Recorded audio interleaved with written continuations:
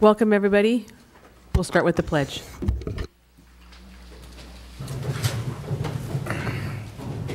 Congratulations to the flag of the United States of America and to the republic for which it stands, one nation, under God, indivisible, with liberty and justice for all.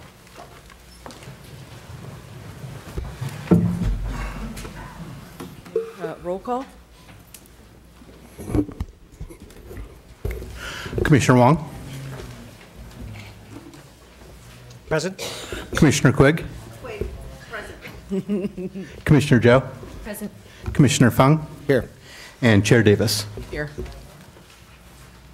Um, Agenda review, does anybody want to move anything around or have any questions? Okay, looks good. Uh, Minutes, we don't have any to review at this meeting. Public communication, this time is reserved for those that want to speak to a topic that is in the purview of the Planning Commission, but not on tonight's agenda. So far, everything I have here is on the agenda. Does anybody have anything else to speak on? No? Okay, then we'll move on from there. Old business, we don't have any. Next up is the public hearing. It's for Gateway at Millbrae Station project.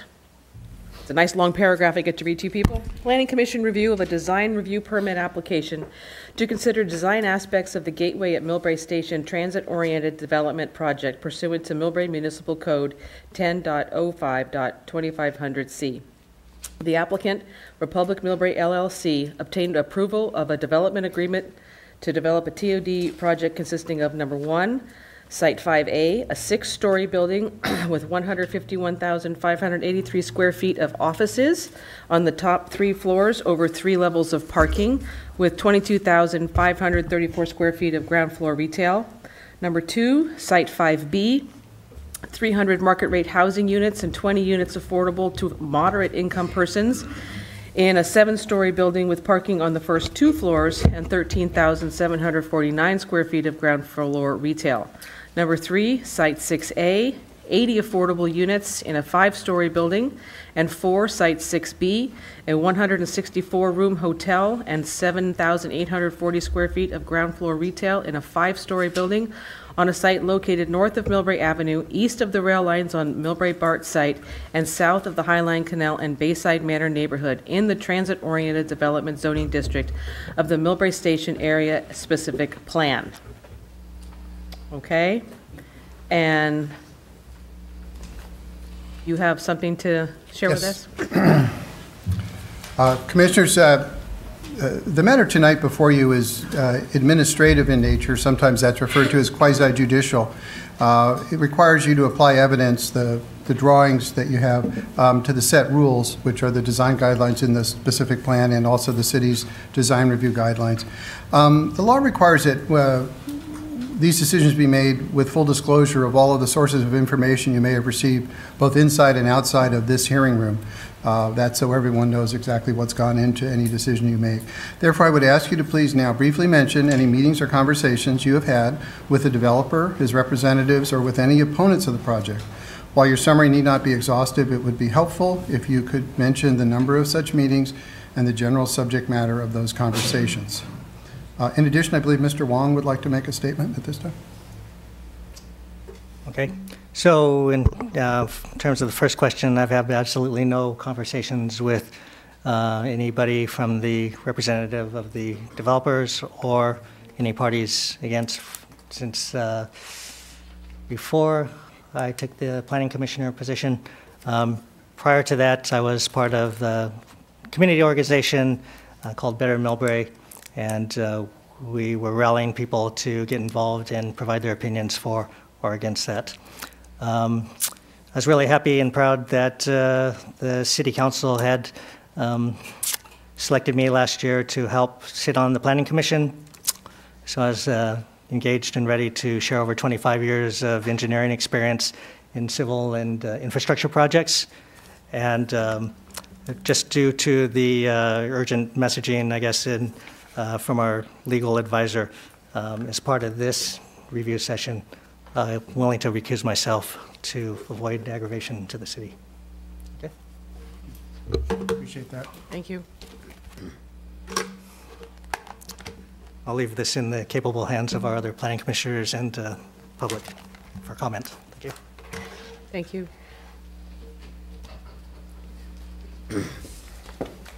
Yeah, so uh, you, I I can start? Sure. Um, I had three meetings with Kelly Arardi. Um, They were all general updates. This is the latest in the plan. One was last August, one was in January, and one was in February. Um, We pretty much just flipped through this big book and what was new. That was it.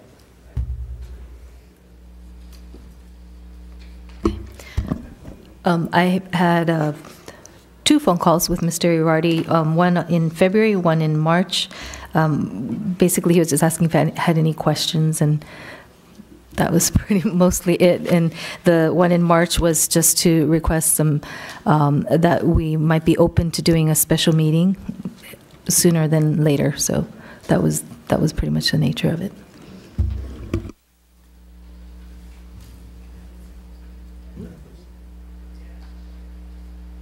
Um, I miss, uh, met with Ms. Girardi probably five years ago, um, when the project was not even actually on the table, I don't think, but I did have a meeting with him uh, about five years ago. And since then, I have received phone calls from Mr. Girardi with no- no response from me, just updating and see if I had any questions. Thank you.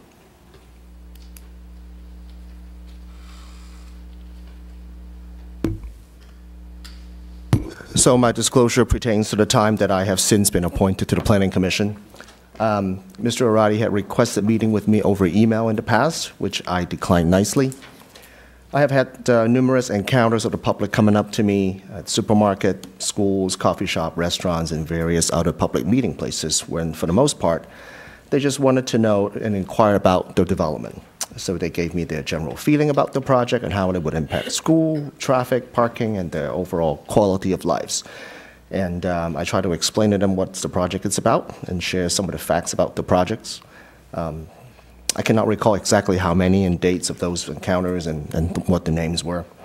Um, also had a meeting with uh, Mr. Baron Soon, Mr. Al, Mr. Mel Lee, as well as Mr. Alan Wong on the phone at the time, who was not a planning commissioner at the time. They're about the time June 2018. I attended the meeting as a private citizen without any official capacity or affiliations. I expressed my comments regarding the projects solely based on the testimonial that I have received during the public hearings presented by staff as well as the applicant. And the comments I expressed during the meetings are the same comments I made during those public hearings that I anticipated, that I had participated. So this concludes my ex parte disclosure uh, contacts, and I believe my previous contact does not expose me with any biased information, and I intend to hear this case justly and fairly. I'm sorry, can I add? Um, so I only, this is since the, before the last meeting. So last year I did have a, a couple meetings, but I did disclose that at previous meetings. So I didn't go back. So just because Commissioner Quigg was mentioning five years ago, and I was like, oh wait. Um, so I've had a couple meetings, I think last year, just to, and I did disclose those at the previous meetings. All right, thank you. Okay, staff report.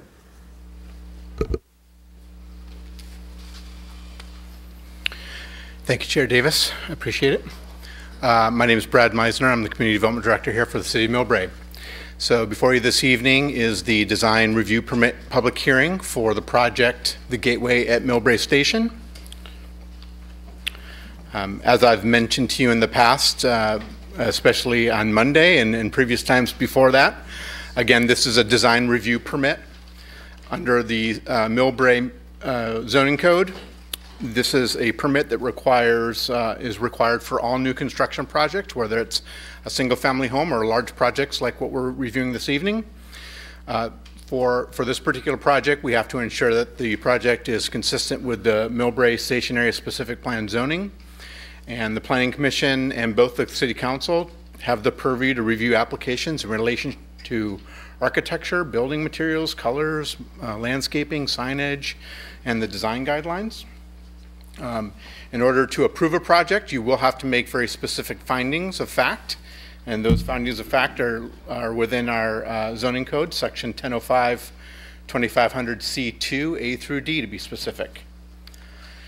And just to make sure that we're all clear, and also to be on the public record, and this relates to all design review permit applications, I know I've received a number of comments from different people in the public, and there still seems to be a little bit of confusion. So I just want to make this point very clearly that for any design review permit, again, whether it's a single-family home, whether it's a brand-new commercial building, or a large hotel, or the project we have before us this evening, the Planning Commission has a number of options available to you, alternatives in terms of how you go about making your decision. You always have the right to approve a project. You have the right to deny a project if you made certain findings. You have the right to approve a project with added conditions if you think that the conditions that have been put in place are not adequate.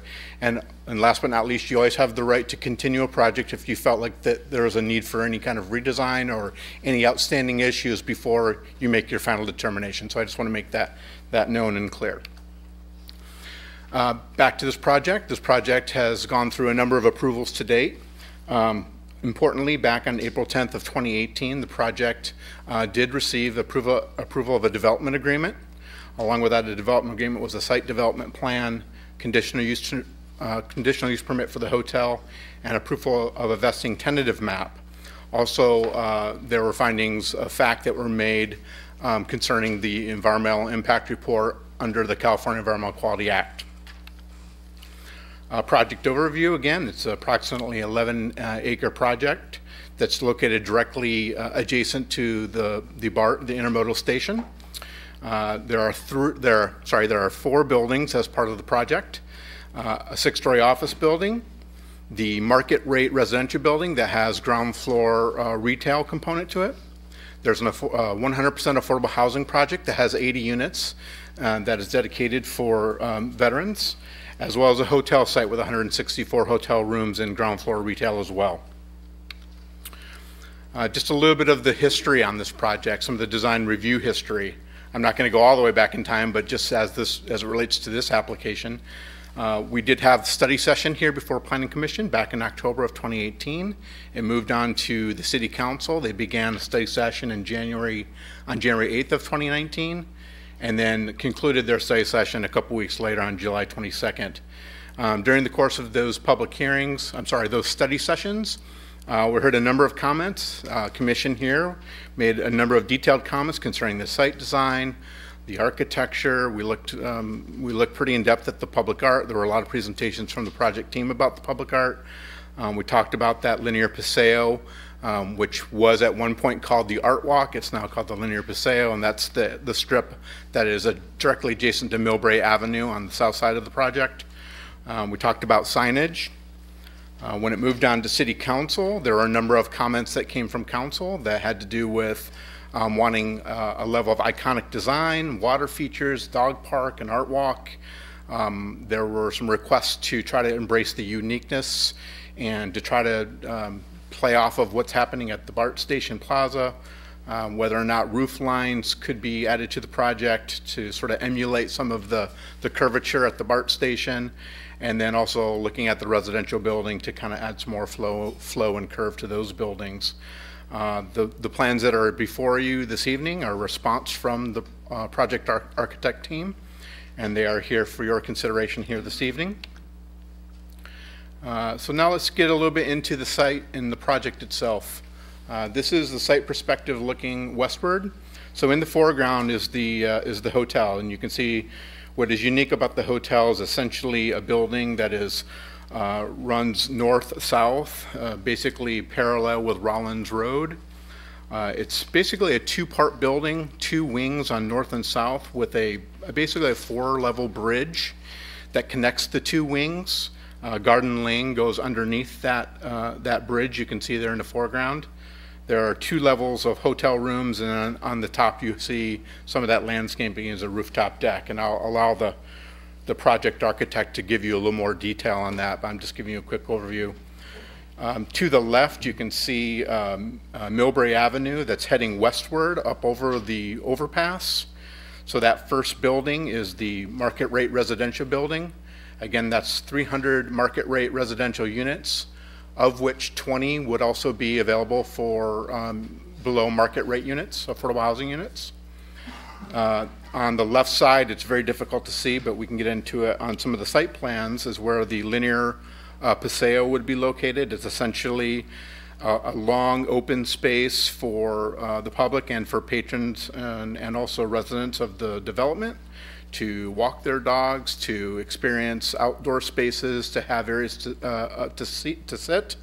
There would be public art, there'd be murals, there would be landscaping there.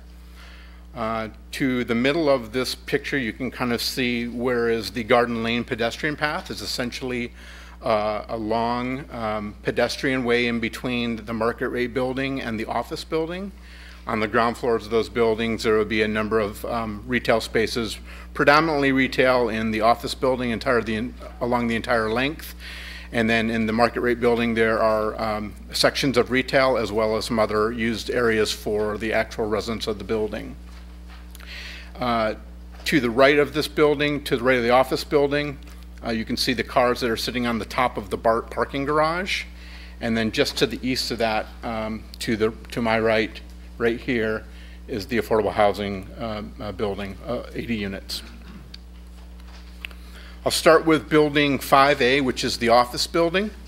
Uh, You'll note that in the staff report, I have a general narrative of the types of colors and materials and um, uh, the architectural design. And uh, that staff report is also has references to the project plans that call out all of the building colors and materials for your reference. Um, Just generally from, from staff's perspective, it's a very uh, modern design building. Uh, has a very strong uh, base to the building with, uh, with a lot of glazing at the top.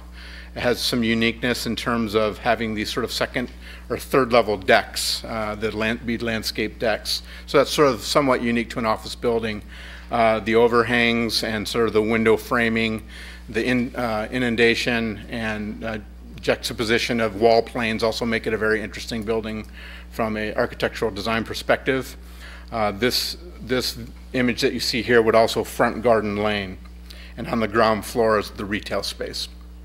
You can see the glazing and the storefront windows. Uh, These are the actual architectural elevations. Uh, All these elevations have been keyed to the, the materials and all the colors. I know that the project team has brought all those materials here this evening. If the commission would like to touch them and feel them and, and see what the quality of the materials are. So here's the north and south elevation of the office building, as well as the east and west elevations. Uh, Moving on to the residential building, this is Building 5B. This is the residential building that would be directly adjacent to Millbrae Avenue and the overpass. So the top elevation is uh, what would be seen from, um, uh, the- I'm sorry, on the bottom, the Rollins Road Millbrae perspective, which is sort of that corner location as you're headed westward on Millbrae Avenue. That is a corner feature that has been designed to be um, uh, to stand out in that it has these multicolored um, Hardie board systems along with uh, the sort of the gray centerpiece you can see in the windows that are framed up uh, with balconies that that um, uh, switch back and forth on on either side of the uh, corner. The ground floor is uh, designed to be full retail space there. Um, one point I wanted to make here along Millbrae Avenue. Uh, where's the best way to see it?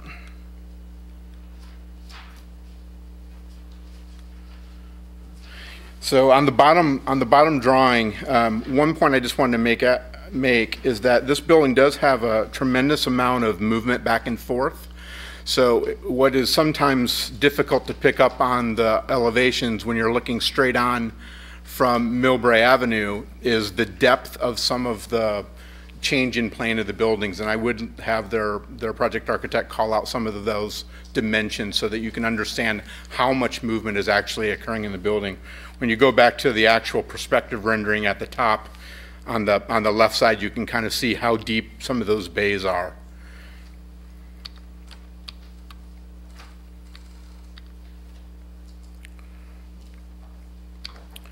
Uh, Moving on to the Garden Lane perspective, this is a very important perspective. This frames up the Garden Lane pedestrian walkway, as we indicated before.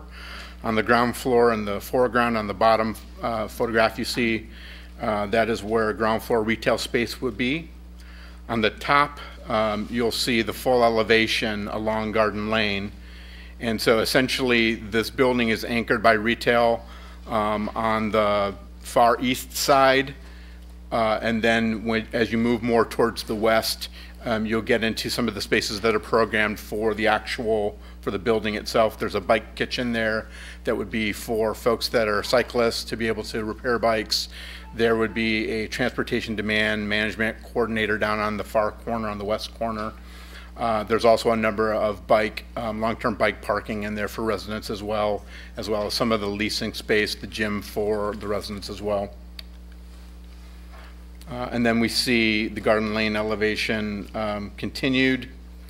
Um, This gives you an idea of what that corner elevation looks like at Garden Lane on the inside, uh, right here on the bottom, on the bottom photograph uh, elevation to the right, you kind of see a a different framed-up window with what is, uh, it's called a- a romantic walnut um, color, and you'll note that in the in the staff report.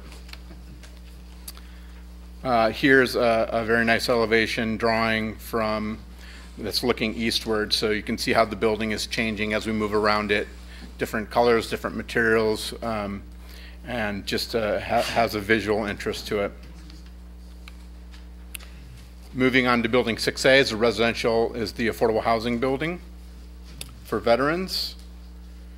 On this image, we have all of the elevations. As you can see, um, Their, the use of color and window schedule helps kind of break the building down into smaller portions such that it doesn't read as, as large. Along the longer elevations, um, the, uh, the, on the north and south elevation, which is the, uh, facing the hotel, you kind of see um, what the frontage of that building would look like, and that's on the top left drawing. And then last but not least, the, the hotel site. As I mentioned before, that is essentially uh, two wings of the building connected with the, uh, the bridge in between. Uh, The hotel does have ground level retail space as well as the hotel lobby, uh, dining for hotel patrons, a fitness gym, a pool, and many amenities that you would find for the hotel. Brad, could you show there with your red mark, your red uh, thing, go back one, where the uh, bridges are? So the bridge is here, right in the middle of the building. Brad, if you could repeat her question, because the microphone can't pick her up. Sure. So I was asked the question uh, to, sh- to kind of point out where the bridge is that's connecting the two components of the, of the hotel. So these are perspective renderings that are a little bit difficult to see, but as you can see here, in the top photograph, I'm sorry, top elevation and the, and the lower elevation, that's a building that's, that's been cut in two. So essentially, if you put those together, it would form the one long elevation. And as what, which you can see right here to the right of the top drawing is all the glazing of the bridge that connects the left side of the building or the, the south side of the building and the north side of the building. Um, This distance here where you can see the Jeep driving underneath the bridge, that's 18 feet in height there. Mhm. And then as we uh, go around to the other sides of the building, this would be the elevation that would be facing the front of the affordable housing building, Building 6A. And then this would be the elevation as seen from Millbrae Avenue. As you can see in the foreground, um, you can see the canopy, which would be where drop-off would occur for the hotel. You can see the signage, uh, vertical sign, uh, projecting sign off the building. Uh, You can see how they're using sort of the different materials and colors to sort of break uh, different planes of the building and create uh, um, visual interest. As well as on the ground floor, you can see the transparency and openness into the, into the ground floor. Uh, Moving on to signage, there had been considerable conversation about city monument signage, um, whether or not there should be uh, two signs that are similar to what we have now. Should we have new signs that are on the building? Should the building be off of the, uh, the sign be off of the building? Or should there be a median sign? Essentially, what has been proposed um, is somewhat preferred by staff. Of course, that's fully before the commission is this, uh, this scenario here, which would be a, a long, a tall monument sign that does say Millbrae, with uh, a smaller gateway at Millbrae Station down on the, on a monument sign here with tenant signage on, at the corner. The sign would look um, like this, with, uh, as you can see, some of the scale of the, uh, of the pedestrians in the, in the foreground. There are other proposals as well. Uh, So, you know, it's, again, that's before council, uh, I'm sorry, before the commission. This was a sign that we felt um, played with some of the existing color and tone of some of the signs that we have in, in the city already. Uh, And then also some of the building signage and uh, branding signage of the development, the gateway at Millbrae Station. Again, this is the west elevation of the residential building. This would be seen primarily if you're headed um, eastward, heading towards the 101 freeway. That sign previously was up higher above, above the roof line. That's been dropped down to sit more uh, on the building face itself. Um, Public art, uh, this is sheet UD .10. Uh, This uh, lays out where the public art locations are proposed. And I do believe that their uh, team is here to talk about public art in more depth if, if that's the commission's desire. Uh, Landscaping, the site has been fully landscaped. Again, on L 1.2, we have proposed landscape plan. And with that, uh, I'm going to go ahead and make city staff recommendation. We're recommending that the planning commission approve the design review permit and master sign permit for the Gateway at Millbrae Station based on the findings and conditions that we have in the resolution, which is 19-03. That's before you have it. Um, What I might recommend is, um, if you have any questions for me, we can go ahead and ask those now. Otherwise, I know that their project team is here to answer questions, to go in more detail on any number of um, components or questions that the commission has.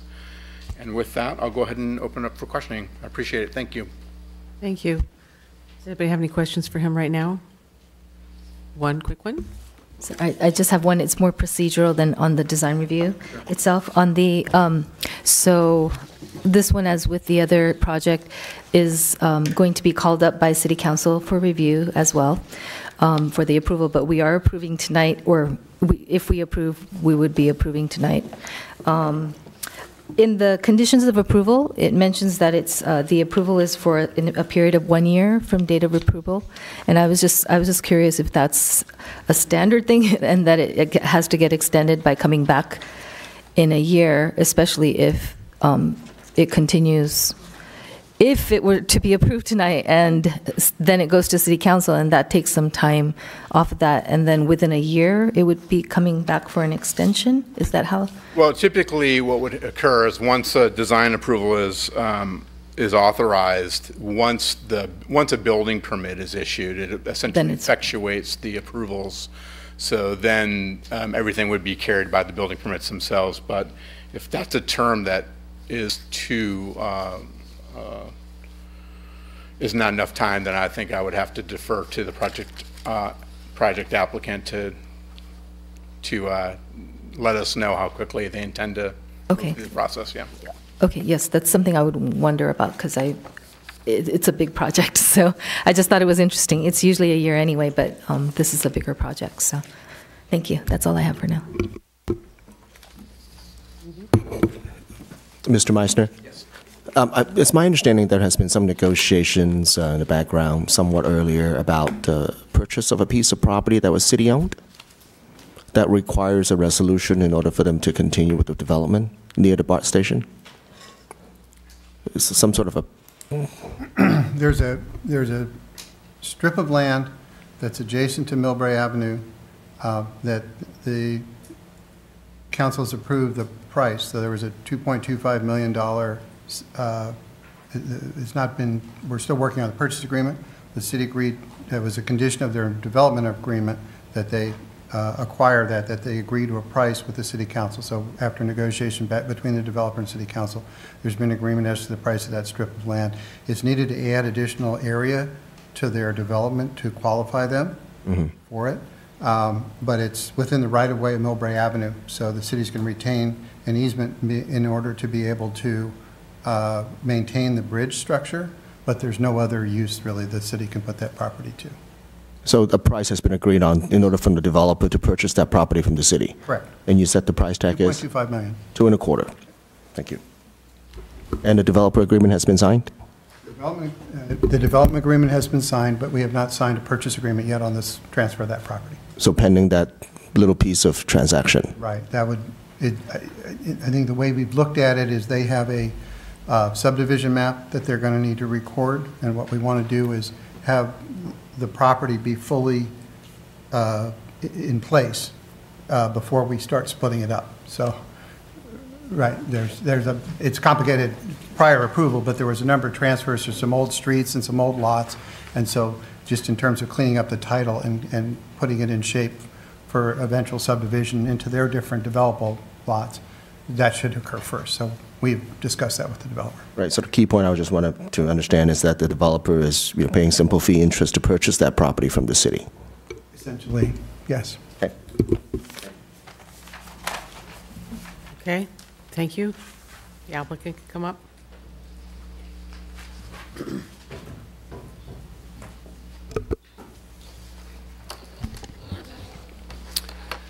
Good evening. My name is Kelly Arardi. I'm a Senior Vice President of Forward Planning for Republic Family of Companies and uh, Project Executive for the Gateway Millbrae Station. Melissa Durkin's here tonight also, who's done a lot of work on the project. She's a project executive for Republic also. Um, I'd like to thank you for your time and your staff for all our hard work that they've done to get us here today, and also Brad Meissner's uh, presentation. He has pretty much covered a lot of what we would cover. We think we've, um, you know, we've been through several years of this process. We've been through uh, almost a year since the uh, site development plan was approved and the DA was approved through our, to get to our um, design review. We've had the three meetings, the study sessions. Uh, What we have here before you tonight is what we'd like you to approve. We agree with all the staff's conditions, and our goal tonight is to answer all your questions that you have, uh, have you uh, make a vote in favor, and hopefully have this before the city council on the 26th. Uh, From a standpoint of our schedule, just in general, we've uh, started our construction drawings for our site work, as well as some of our vertical construction. And our plan is to hopefully be uh, starting construction and having some sort of groundbreaking ceremony end of the second quarter, early or mid third quarter, sometime this year. So that's kind of our schedule. Again, um, I think probably the most effective way to do this is uh, all our consultants are here. Rather than walk you through a presentation, if you have specific questions, I can have them come up and answer those questions unless you'd like to, like us to proceed differently. thing that's handy is you had the, the three study sessions. Are you in the mic? Mic. You had, you had the three study sessions where you heard from us, you heard from city council, and you heard from the public. If you could just point out where you responded to those things, that would be helpful. Okay. Just to remind us. Um, I think, uh, check? Yep. I think I'll have our project, uh, master project architect, Chuck Tang come up and run you through the uh, high points Perfect. of the project, if that will work for you. Thank you.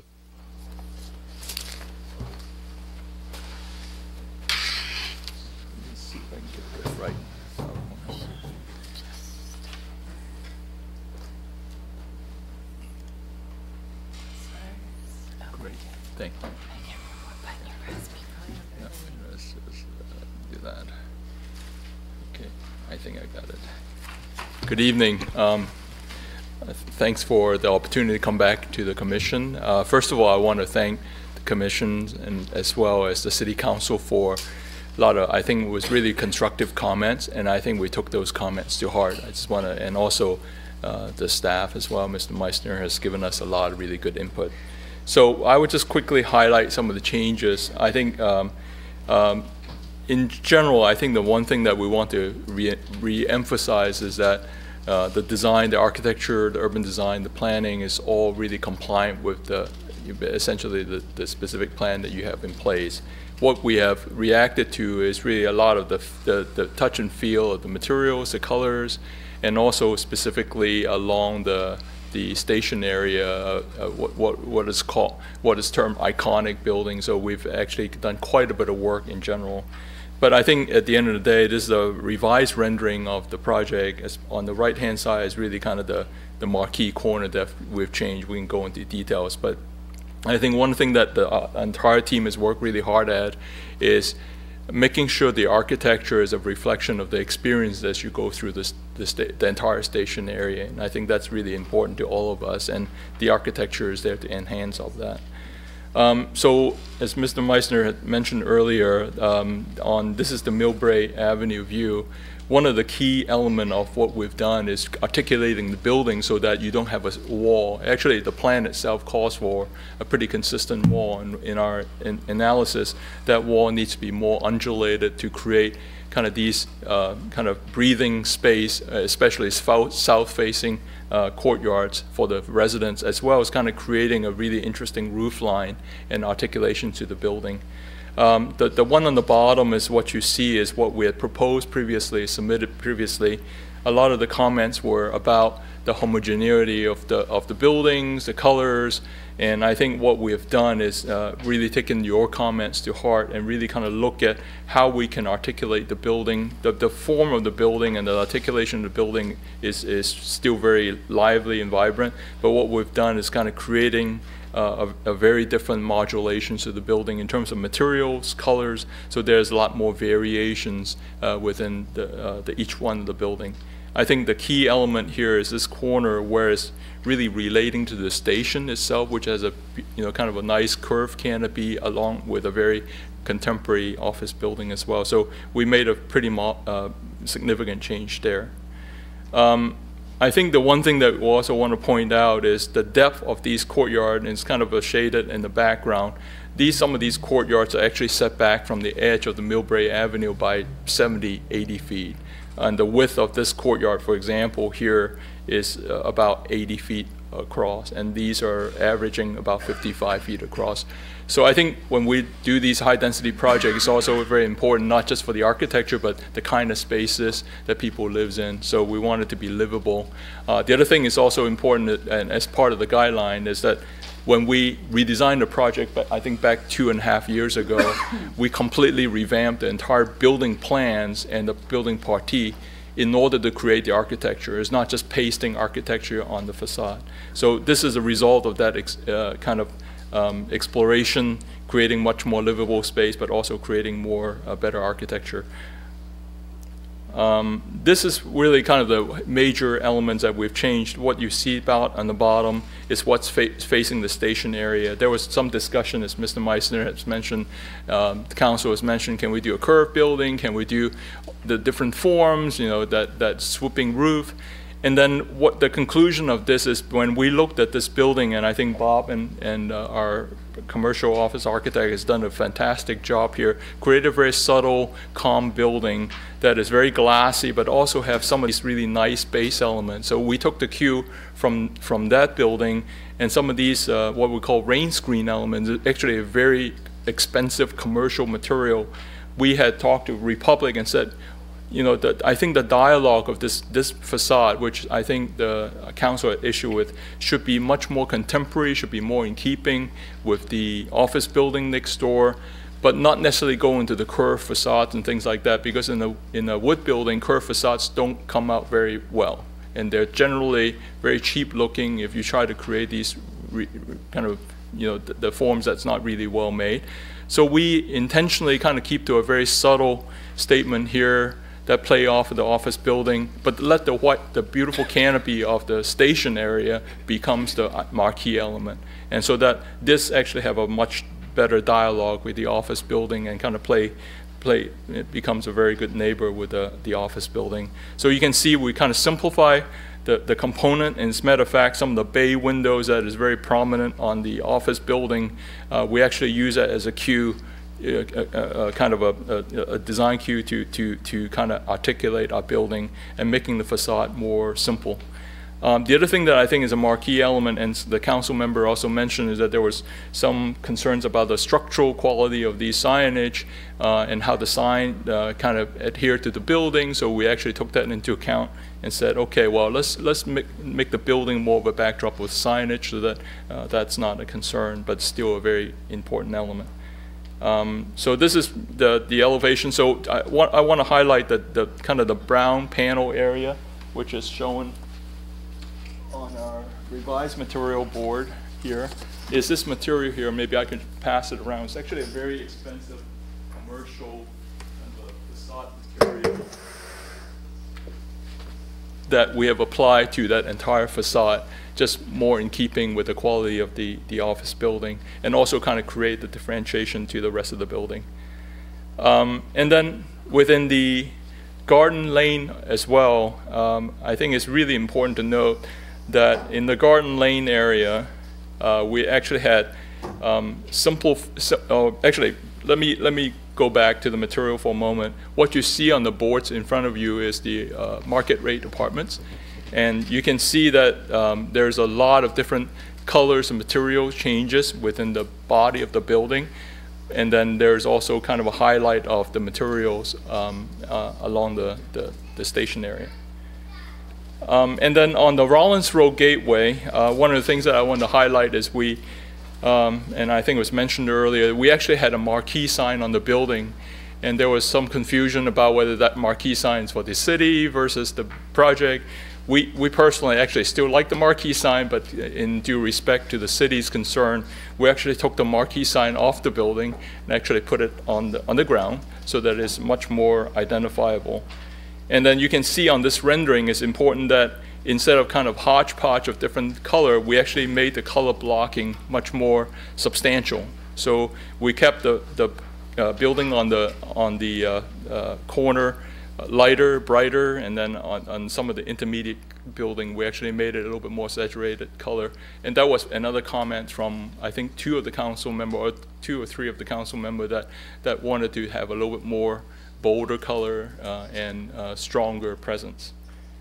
And so this is the, I won't go into this, but the materiality um, actually wraps around. This is actually taking away the office building and looking the inside of that garden lane that you generally don't see from the street, but that as a pedestrian that you would see. What we've done, this is before, uh, has a lot more paler and grayer and kind of not very uh, attractive color. What we've done is basically taken that same concept from uh, the Millbrae Avenue and applied it even to the Garden Lane so that um, you, you see a lot more variations. The other thing that I want to highlight on the board um, there's quite a bit of kind of porcelain uh, tile material as well as some really interesting rain screen material.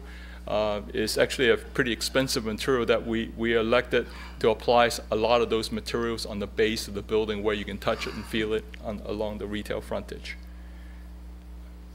And then uh, going on to the affordable housing project, Um, One of the things that I thought was really im- important to note from our comments was, it it was, it, the previous scheme was kind of bland. And so being this is kind of the iconic, eh, you know, kind of anchor uh, coming down Rollins Road before you, you turn into the garage, and then also the relationship with the, with the hotel, what we've done is um, highlighted a little bit more kind of this corner with a material change as well as a more marquee signs here to, to create a little bit more bolder expression. Thank you.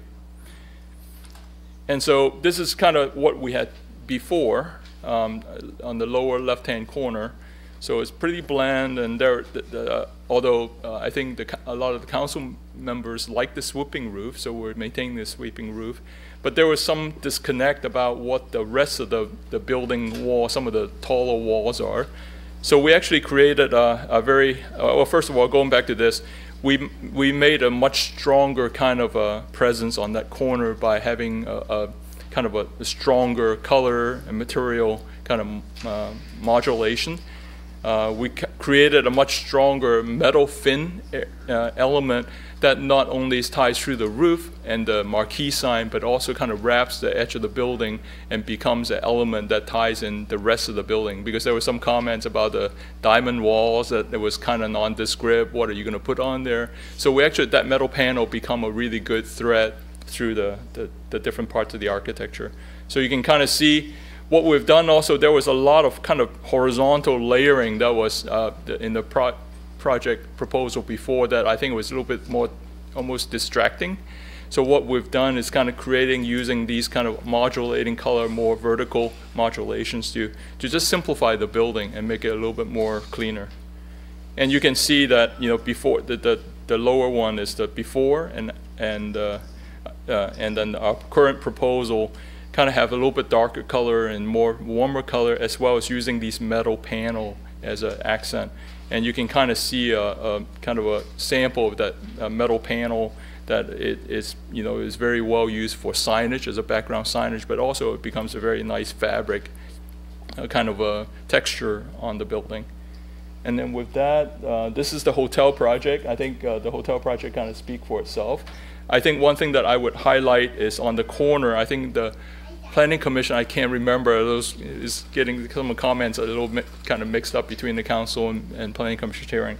But um, this corner was a little bit less uh, kind of nondescript before, and there was a comment, why don't we do something with this corner here to create a little bit more articulation similar to the residential building? So I think our hotel architect, was, I don't think he's here tonight, but what we've done is kind of carved out a little bit more windows on this corner, as well as uh, this kind of uh, kind of in, infill corner here to create more transparency. But I think they've done a fantastic job opening the retail uh, ground floor here and create a much more kind of iconic corner uh, on the other side of Rollins Road. And also, they, I think they have actually expanded some of the glass uh, storefront here on the parking lot side of the building to create a little bit more uh, stronger, stronger presence as well. And I think with that, I'll stop with the signage or the landscape. Great. Um, Thank you, Jack. Just to put a little um, cross the T here, the, what you saw there was from the notes we took from all the study sessions, we reviewed the tape, we made the changes, we then went to your staff to make sure we were getting things right and showed them what we were doing and made sure that we got our best interpretation and uh, illustration of what you were looking for. So we made every reasonable change that we saw requested in the study sessions to bring this here before you this evening. Thank you.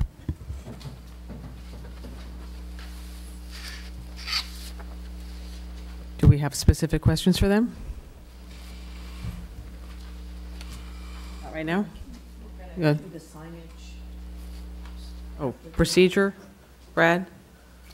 Do we want to do the signs later or all Are we, we're going Yeah, I to, just, are we going to jump into the signage now, or do we have questions? Yeah, I mean, to- you know, through the, through the chair, if, if your preference is to see more of the, the sign options that they have, they can certainly run through them for you. And then if you feel like you've got a full view of the full development, including the buildings, the signage, landscaping, those types of things, then if you want to open up for public comment, that might be appropriate. But I think maybe just making sure that you have a full view of what it is that they're proposing, notwithstanding just the buildings, signage, landscaping, those types of things as well. Okay. I'm okay with the building. I would ask if he's going to, I would ask if he's going to move forward with the signage, but if anyone has any questions, we should do the, up to here. Okay, uh, can, just a quick, I'll just do quick, I have a lot, but I'll do it later, but um, just a quick one about, I think there was some comments about the Art Walk Now Paseo. Can you go through what the changes were made there? Sure. Um, Sean? Just as a Uh, comparison. Melissa, I want you to come up here, too. I think uh, we, Melissa is, uh, again, one of our project executives and has really worked on the nuts and bolts of this project and can probably walk you through the, did you say the art walk, or did you want the, uh, the linear paseo? Yes, exactly. That's the Isn't- same thing. isn't the Former art walk Now chain- linear paseo. Yes. Okay. Right. Why don't we- Well, there, we have, uh, our linear paseo is between the Market Rate Building and Millbrae Avenue. And then the art walk is what we would call everything on Garden Lane. So, again, Melissa, why don't you, you want to walk through the linear paseo first? What page is that, please? I'm sorry. What page is that? This is UD 12. So some of the comments that we received for the linear park or paseo um, were to kind of keep it simple, keep it focused on maybe dog amenities. So that's what we've done. We've kind of removed some of the significant art features and preferred to kind of keep those in areas that are going to be more highly utilized by the public. So if you see the revised drawings that are in front of you, we've added, like I said, more dog-friendly amenities. So there are specific areas that have this synthetic lawn or turf that dogs could utilize. I believe one is fenced in, so dogs can kind of run around without a leash. Um, there's a couple areas where you'll have seating, and then like a dog water fountain and dog bags, um, if you need those as well. Um, the only piece of art that will be here will probably be this mural, so some sort of kind of abstract art piece um, that could be painted along the Millbrae overpass, since that right now is just kind of like a blank concrete wall. Um, also, the gates that are utilized at either end, those we've kind of just simplified as well, removed kind of the miscellaneous pieces of art, and so now it's just kind of a clean, modern um, metal gate. So any other questions for this Paseo? Like I said, just kind of simplified, dog-friendly amenities, benches, seating, synthetic lawn. And this is where you can walk into those little courtyards that he explained, right? So this um, Paseo, it's utilized as um, publicly accessible open space, Okay. which means that it has to be open to the public for a minimum of 12 hours a day. So it would be locked at night, but during the day, it could be utilized by residents and the rest of the community. Thank you.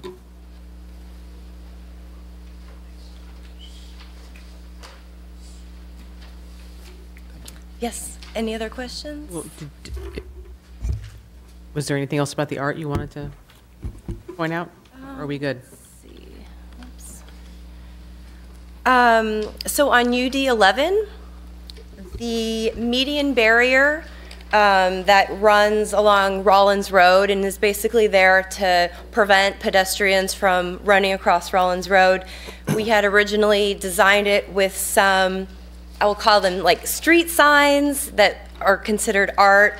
Um, the feedback that we received is that it was kind of too distracting um, and that it could potentially maybe cause an accident if um, you know drivers are looking at that kind of maybe trying to read what's on the sign so we've come back and we've basically created a more simplified modern median barrier um, and with city's comment we've also added um, some landscaping and some vines that would grow up that barrier to kind of help kind of soften it and add some nice greenery to the area without being distracting.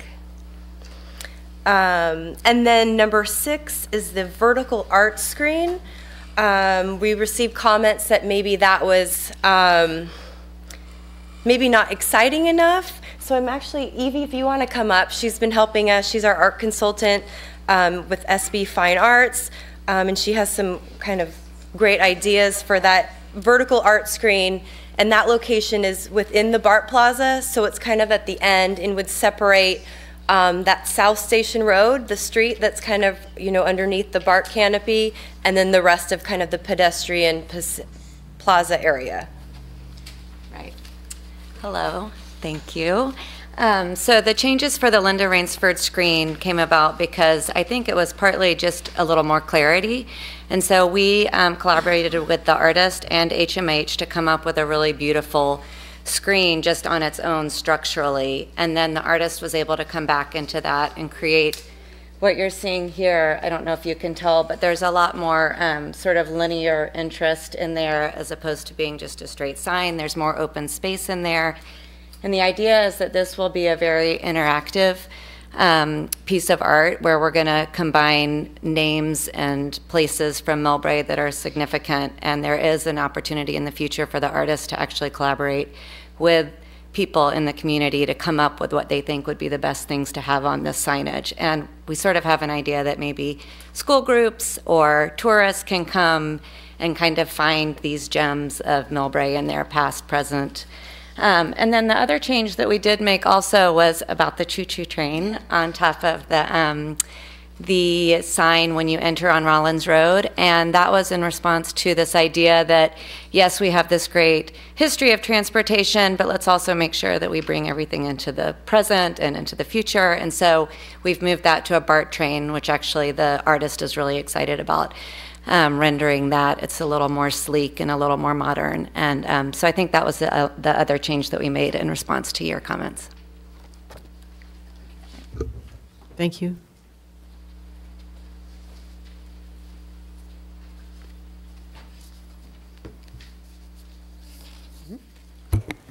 Mr. Arati, if you can, um, help us walk through the, what the pedestrian experience is going to be as you exit the BART station, walk down the BART Plaza, between Garden Lane pedestrian path, what that's going to look like.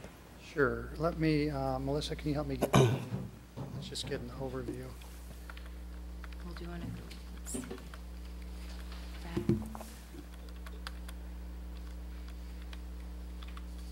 Start here. Great.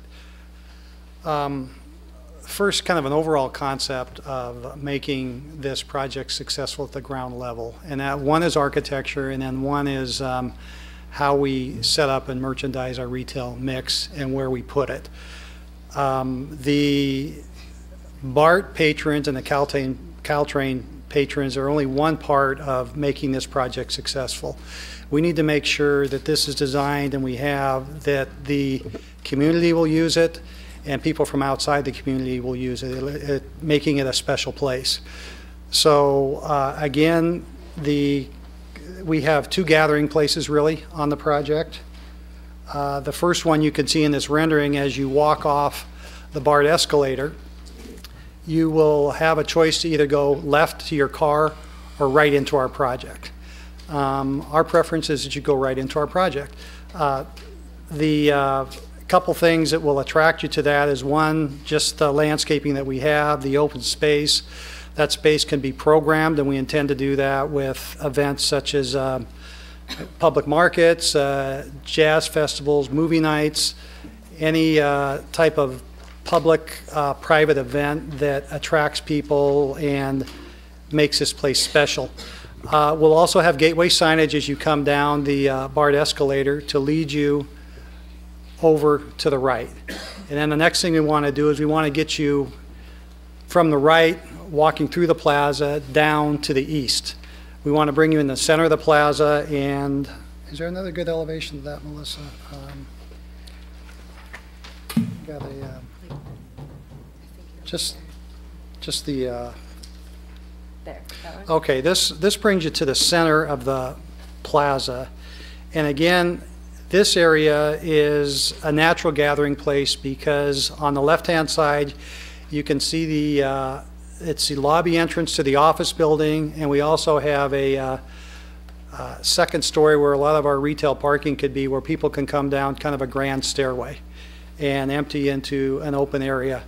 On the right side, the lobby and main entrance into the, our market rate apartment complex empties in the same spot. And if I can find a spot on the site plan, you will see that that is a larger area and again, can be programmed for special events and be attractive. The other thing this does is we've kind of got a fairly long linear space and in retail, you need to break things up into blocks. And the way this project has been done, it's almost like you have two blocks, the way you come in. Um, This area here that is, has a lot of ins and outs and uh, uh, cuts creates the middle of the block. So let's go to, great, now the, um, I'm going to jump to the entrance of the project. Uh, In order to make this, uh, I think, my opinion, um, I've got 30 years of retail experience. I've done, I've done um, small projects, big projects. I've done infill projects. I've done projects with civic uses, uh, office uses, retail uses, residential uses, and mix them all together and try and make them successful. What you have at the entrance here, I think, is you can tell by the ground level, there are storefronts on both sides of uh, Rollins Road and Millbrae Avenue that lets you know there is retail here. Uh, That's real important. Then the signage that you can see at the base of the building, that lets people know that there's retail and there's something going on in here too. As you, and you can see on these uh, views here, there is, we've got two levels of uh, sidewalk, one upper, one lower. On the upper levels, there's an opportunity to create outside seating, uh, put tables and chairs out there, uh, items that when people are driving by, even if they're not turning in, they know something's going on there, and it, it will uh, scream of activity. Let's go to the, do we have an overall site plan, Melissa, that I can, well, let's see. Our numbers. Okay. Just need to get to the overall view. Okay, so, um, once you enter our project, we've done something that is pretty uh, tried and true in retail and uh, is uh, something that helps with the success of the project. We have four corners here at the corner of Garden Lane and uh, Rollins Road. Each of those corners has a retail space. Uh, That's very important as people come in, that they see that there is, again, activity at this spot. They see restaurants or other uses that entices them to come in now or come visit later. So, and again, as you come down, oops, what did I just, as you come down Garden Lane, um, again, this open area where the uh, office empties out and the residential empties out, again, is a very nice gathering area. We have it uh, where we can program it again with all those events that we talked about, uh, mo- movie nights or, you know, uh, Christmas lighting festival, all those sort of things. Uh, And we believe that'll create a uh, sense of place, a distinct identity for this project that will complement the retail that you have in town already. So that is kind of a, a tour of what we'd like to do and will do on Garden Lane. And again, as uh, Evie Simon outlined, there are pieces of public art in there too that people can uh, enjoy while they're getting their cup of coffee, getting a meal, uh, waiting to go to a Giants game at our, uh, at our brew pub, those sort of things. So that's the, that's the vision in a Reader's Digest form. I mean, as you walk through, as you walk down the escalator from the BART station, as you walk towards the market rate housing building, the northeast corner, what do you see there? What, what, Well, what we've done there is we have uh, our TDM coordinator's office and flex space. Uh, Our TDM coordinator will um, be there certain hours of the day. We will more than likely have TV screens up there that are announcing what's going on in the project, either uh, from a standpoint of events, uh, train schedules, BART schedules, uh, things that are happening in the community as a, as a whole. It'll be uh, a nice place for people to find out what's going on in the project, and it will catch people's eyes as they get off the BART train.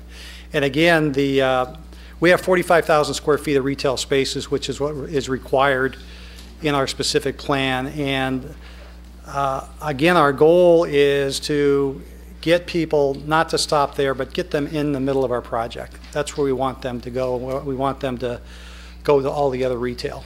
So that'll be, uh, that'll be an active space, it'll be lit, it'll have a retail storefront.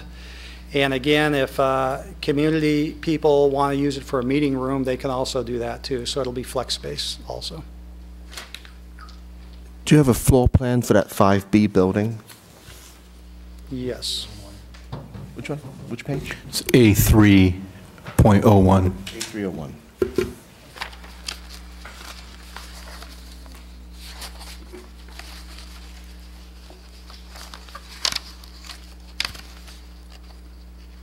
Yeah, it's kind of a small print, it's kind of hard to read.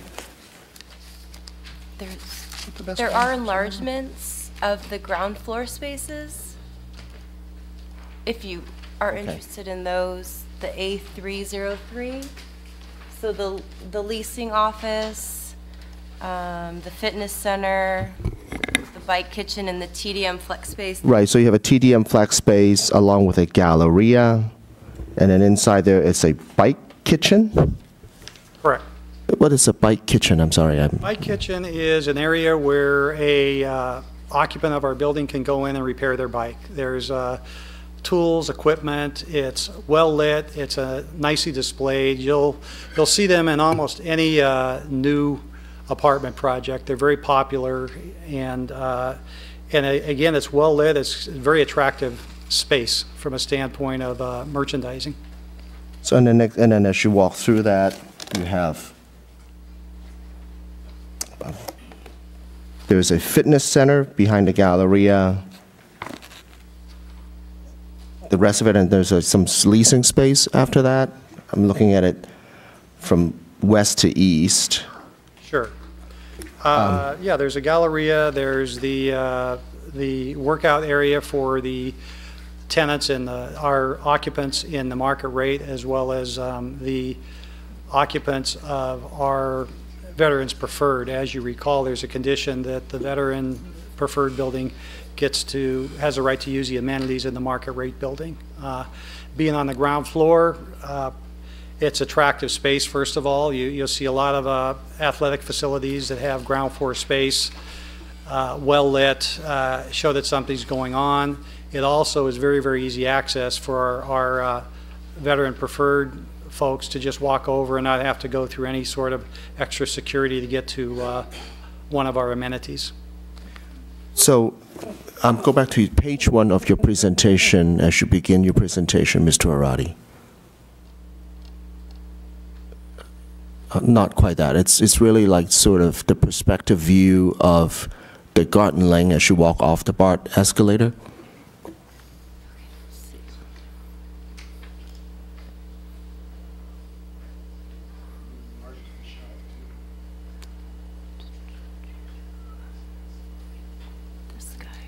There you go. That's one. Which is same as this plan right here, UDO 8. Yes. Okay. This corner right here, which is what it's on your floor plan as the gallery and TDM flex space, Correct. that's not a retail space, or is it a retail space?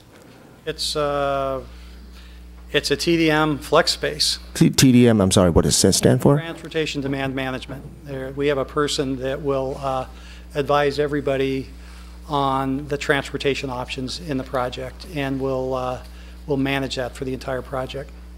So, You want to, what do you want to do? The bike area, you want me Uh, Before that, my, my question is really leading towards, you know, I'm- when I'm reading the plan, I'm seeing this T- UDO 8.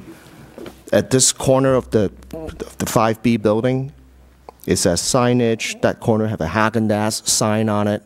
I mean, it looks like a retail space being portrayed there. My rendering doesn't have Haagen-Dazs on it, and uh, again, I, I think we get into a, you know, it's a TDM space, that's what we're going to use it for. Uh, The 45,000 square feet of retail, we've chosen spaces that we believe will be the most successful. This is a rendering. Um, If you, uh, the- and we had a discussion about this with your staff, that renderings are depictions, but they're not perfectly accurate. If uh, what was presented to you in your package were elevations uh, that are accurate and what uh, Mr. Meissner and his staff will check against what's going to be built. So basically, these renderings are not exactly what is going to get built, is is what Let, you're uh, trying to say? Check, check and walk you through uh, the rendering. Uh, We worked on it in, in detail. If I may clarify, um, in almost every one of our TOD project, there is something called essentially a bike station. So, you know, to call it a TDM office sounds a little bit less glamorous, but the idea is that what happened is bike storage used to be sit in the, you know, the kind of the, the guts of the parking garage, right? That's how apartment used to be. But now people are, with these TOD project, they're basically part of the amenity space. So if you go to Redwood City, there's a project in Redwood City, that bike storage area and kind of the bike station, as we call it, is actually right out at the storefront area. So the idea of this concept is, you know, really to BART's notion about utilizing bike as a, is the more primary mode of uh, transportation, is to make those bicycle accessibility and also the visibility stronger. Uh, so that's the intent. So the idea of the, if you see some of the project in Redwood City, uh, I did my first project in uh, Fruitvale, Bart Station is actually one of the earliest uh, bike station, station in the, in the project itself. The station area, it- the bike station itself becomes essentially a retail uh, area, retail feel, because what happened is the, all the, the, the storage within the, the place as well as the, the uh, repair areas is actually part of that kind of retail experience. If you, uh, we have projects in Oakland, that is similar kind of situation, right on, uh, by the uh, Jefferson, by the federal building, a very, very uh, uh, urban conditions, very similar conditions here as well. So I, I guess what I'm trying to get at is this. I mean, I understand the need of using, you know, bike racks and, and the TMD, TDM space and the bike kitchen. Uh, I think my question is more leading towards the allocation of certain space, of certain part of your ground floor space and how it will be best utilized. I guess I'm not disputing the fact that bikes are important, especially on a DOT project.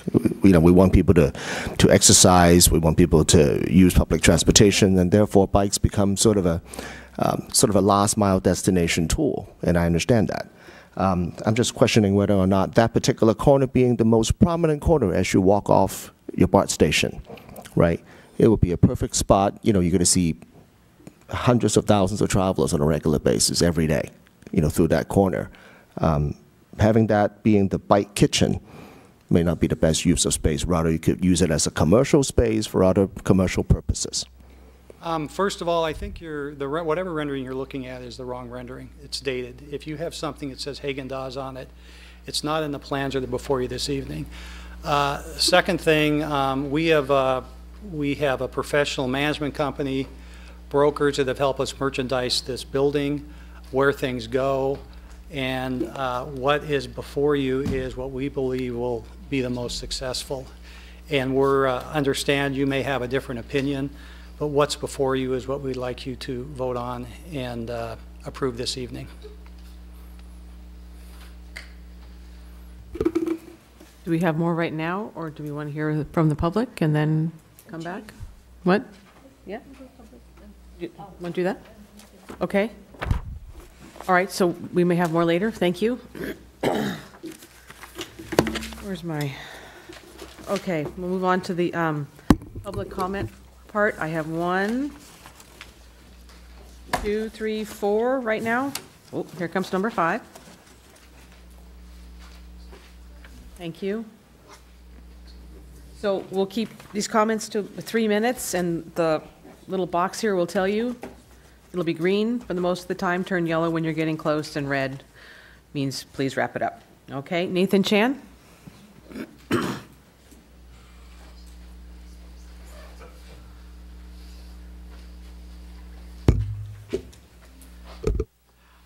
Hello, uh, Nathan Chan. I live at 151 El Camino Real in Millbrae. I have I have to say I appreciate uh, uh, Mr. Meissner's timeline. I had forgotten how long this whole process had been going along for, um, and I've been to quite a few of these uh, public hearings, both for the City Council and the Planning Commission.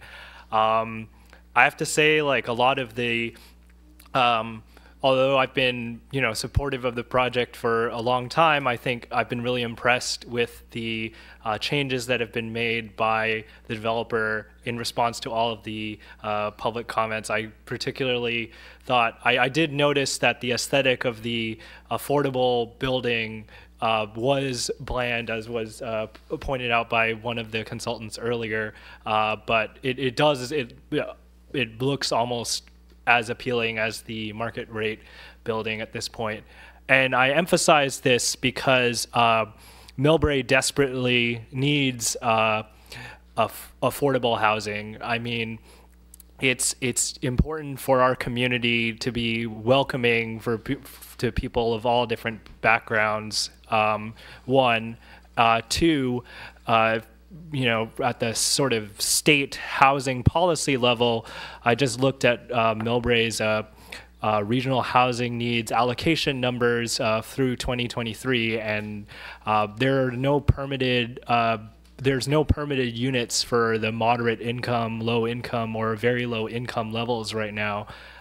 what this project appears to do, at least, is definitely take 20, address 20 units for the moderate income bracket, and I don't quite know what income level falls into the affordable building. I'd be interested to hear what it what where it would be uh, addressed, but uh, you know this project would go some way towards uh, addressing that. So fulfilling our obligations uh, that, that are obligations to create more housing as directed by the state and also making this community a more uh, welcoming place for people of all different backgrounds. So um, I think uh, this is one of the most important parts of the uh, project and definitely uh, a big, big reason why um, it'd be great if it, we could get started. Thanks. Thank you. Next is Stephen Yeh.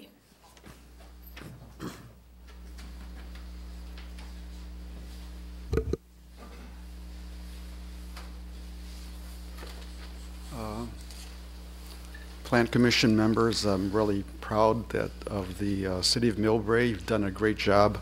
I can see a lot of I can see a lot of give and take that has been taking place, and I think that the uh, Republic has been very responsive, and I think that uh, I can see that the uh, professional staff and the uh, council and the commission have been working very hard on this. Uh, comparing Millbrae is a small city to uh, Burlingame, your neighbor to the, to the north, uh, San Bruno. This project will uh, put Millbrae at the forefront, I think. Uh, it's going to make a, a, big difference. It's going to raise the property values. Uh, it's an ideal use of a mixed use of that site that you have, and I really encourage you, after all this tussle back and forth, just to go ahead and improve the design, get it over with and done. And uh, sooner the better. Thank you. Alex Melendrez.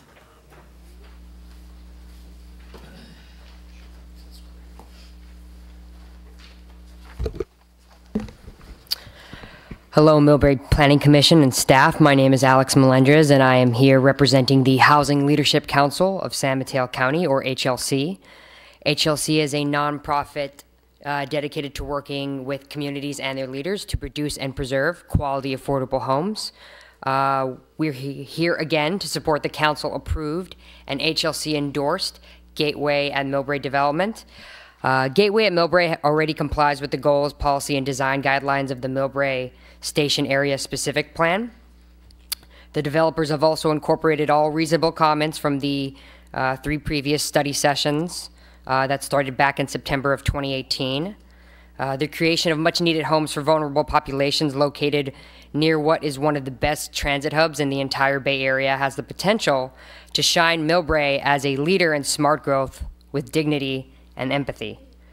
However, however, further delays will only stifle that potential as more and more families are pushed out of the cities and the towns they grew up in. The Millbrae at Gateway development is something individuals all across the peninsula are talking about and looking forward to. Uh, saying how the proposed development can be an amazing example of how to build housing in the peninsula and how needed these homes are.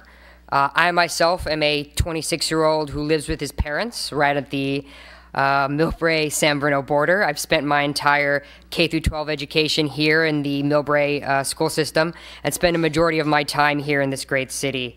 Uh, both HLC and myself can't wait to attend a groundbreaking ceremony later this year. Uh, HLC would like to support the expert and professional staff recommendations and thank the Planning Commission for their leadership in moving this development forward. Thank you very much. Thank you. Ken Abreu?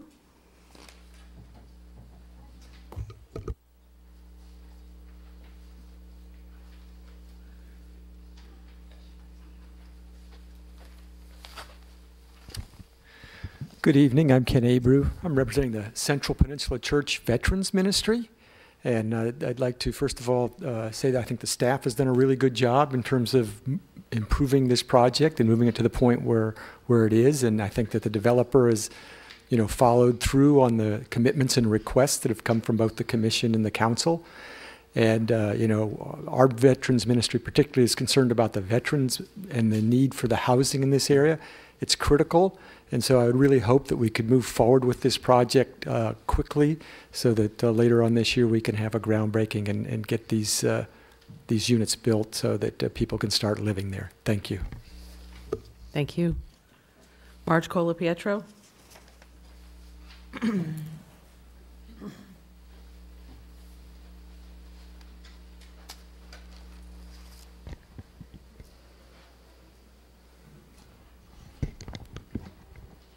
I didn't start talking yet. Getting settled here.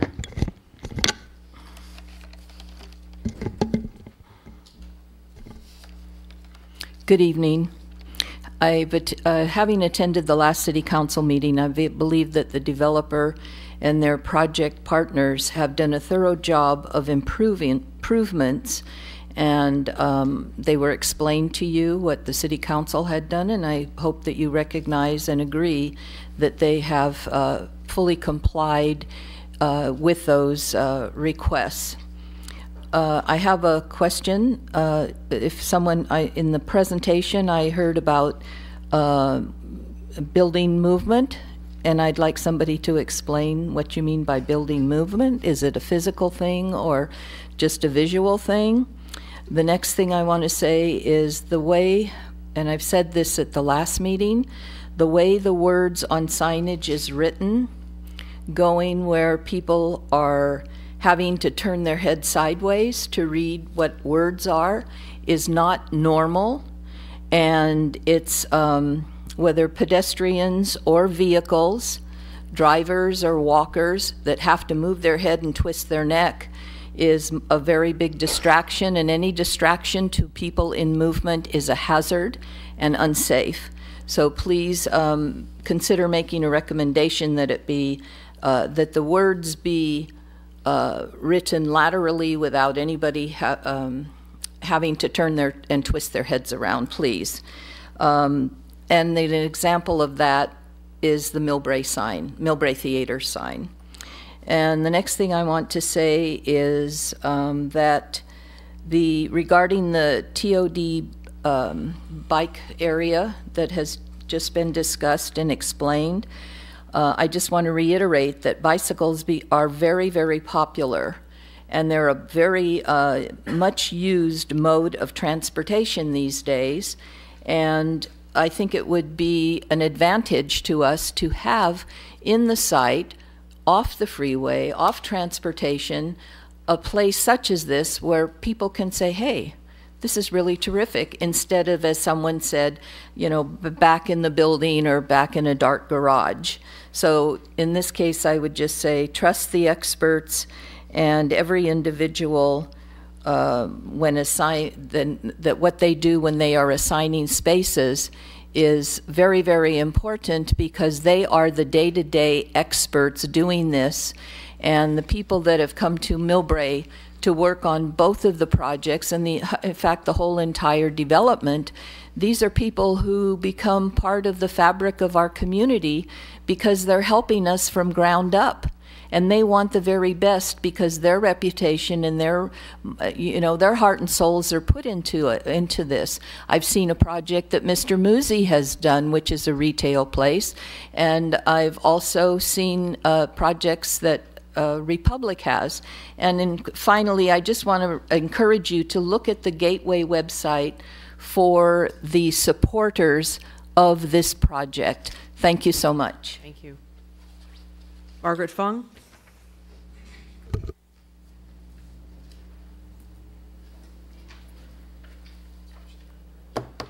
Hi, dear commissioners. Uh, I'm Margaret Fong. I am uh, one of the Economic Vitality Commissioners in Millbrae. As you know, um, you probably know that one of the responsibility of Economic Vitality Commissioner is to transform the existing downtown into a vibrant district as well as um, bringing more revenue to the city. Now, I understand that this project is going to accomplish quite a bit um, with the way how the current scope is. It's going to bring a lot of property tax to the San Mateo County. And I think that it is going to be a very vibrant district once this project is built. However, I question that how much revenue it's going to bring to the city of Millbrae.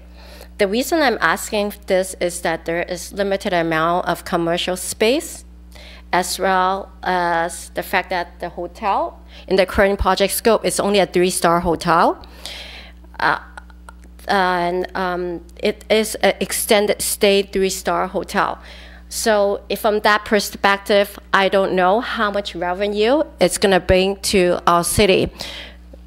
Um, Mr. Developer, could we consider having a four-star hotel that will generate higher revenue to our city?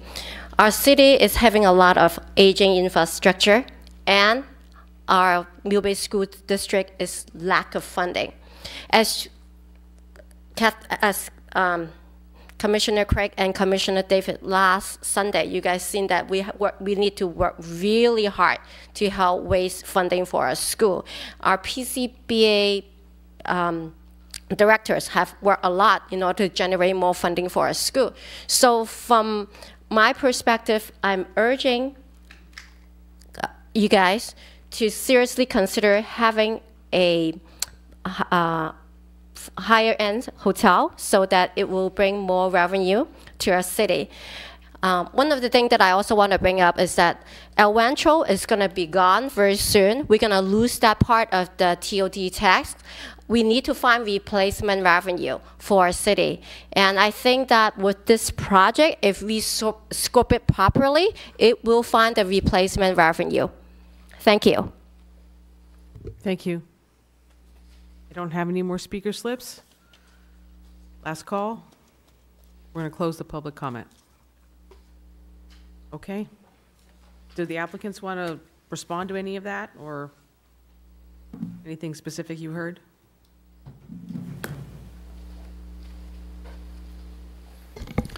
I'd like to thank all the public for their comments. Uh, From a standpoint of um, what we're developing, I think, as you know, we already have our approvals in place in the development agreement that defines um, our buildings, our hotel, those items. So I think, in summary, that ship has sailed, but I'm available to answer any other comments. Okay. Building movement? Oh. Um, Jack, you want to come up and talk about what you meant by building movement? Sorry, March.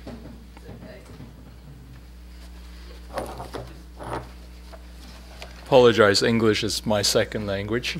but uh, the buildings don't move, but uh, what we try to do is, uh, uh, yeah, but, but our intention is that the buildings create uh, kind of spatial relationships that allows the building to, you know, as you travel down the road or walk down the street, there's mo- that it feels like there's movement in the building, meaning there's articulations, there's kind of ups and downs, and you know, kind of you know, kind of layering to the building. Uh, hopefully that makes sense. Uh, hopefully not. Yeah. So. I'm sorry, one last comment. With regard to the lettering on the Millbrae signage, we're certainly open to changing the lettering where it's, uh, as uh, Ms. Colaprieto had uh, suggested. Thank you. Okay. Discussion? Questions? For applicants, staff? I have a, a lot, it's uh, mostly like clarification or a lot of other things. Um, I'm just going to go in order from the packet. So if you um, on UD03, the site development plan, UD03.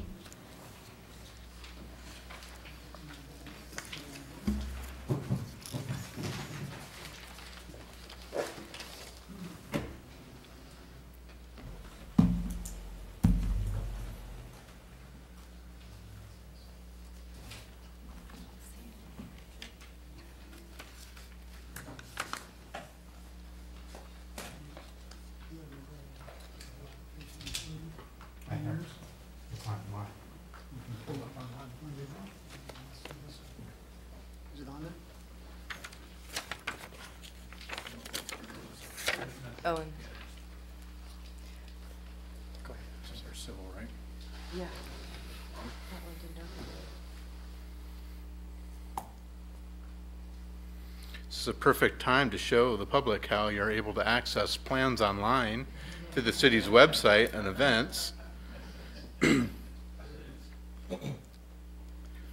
For every meeting, we upload all the plans so that they're accessible for anyone to see them. There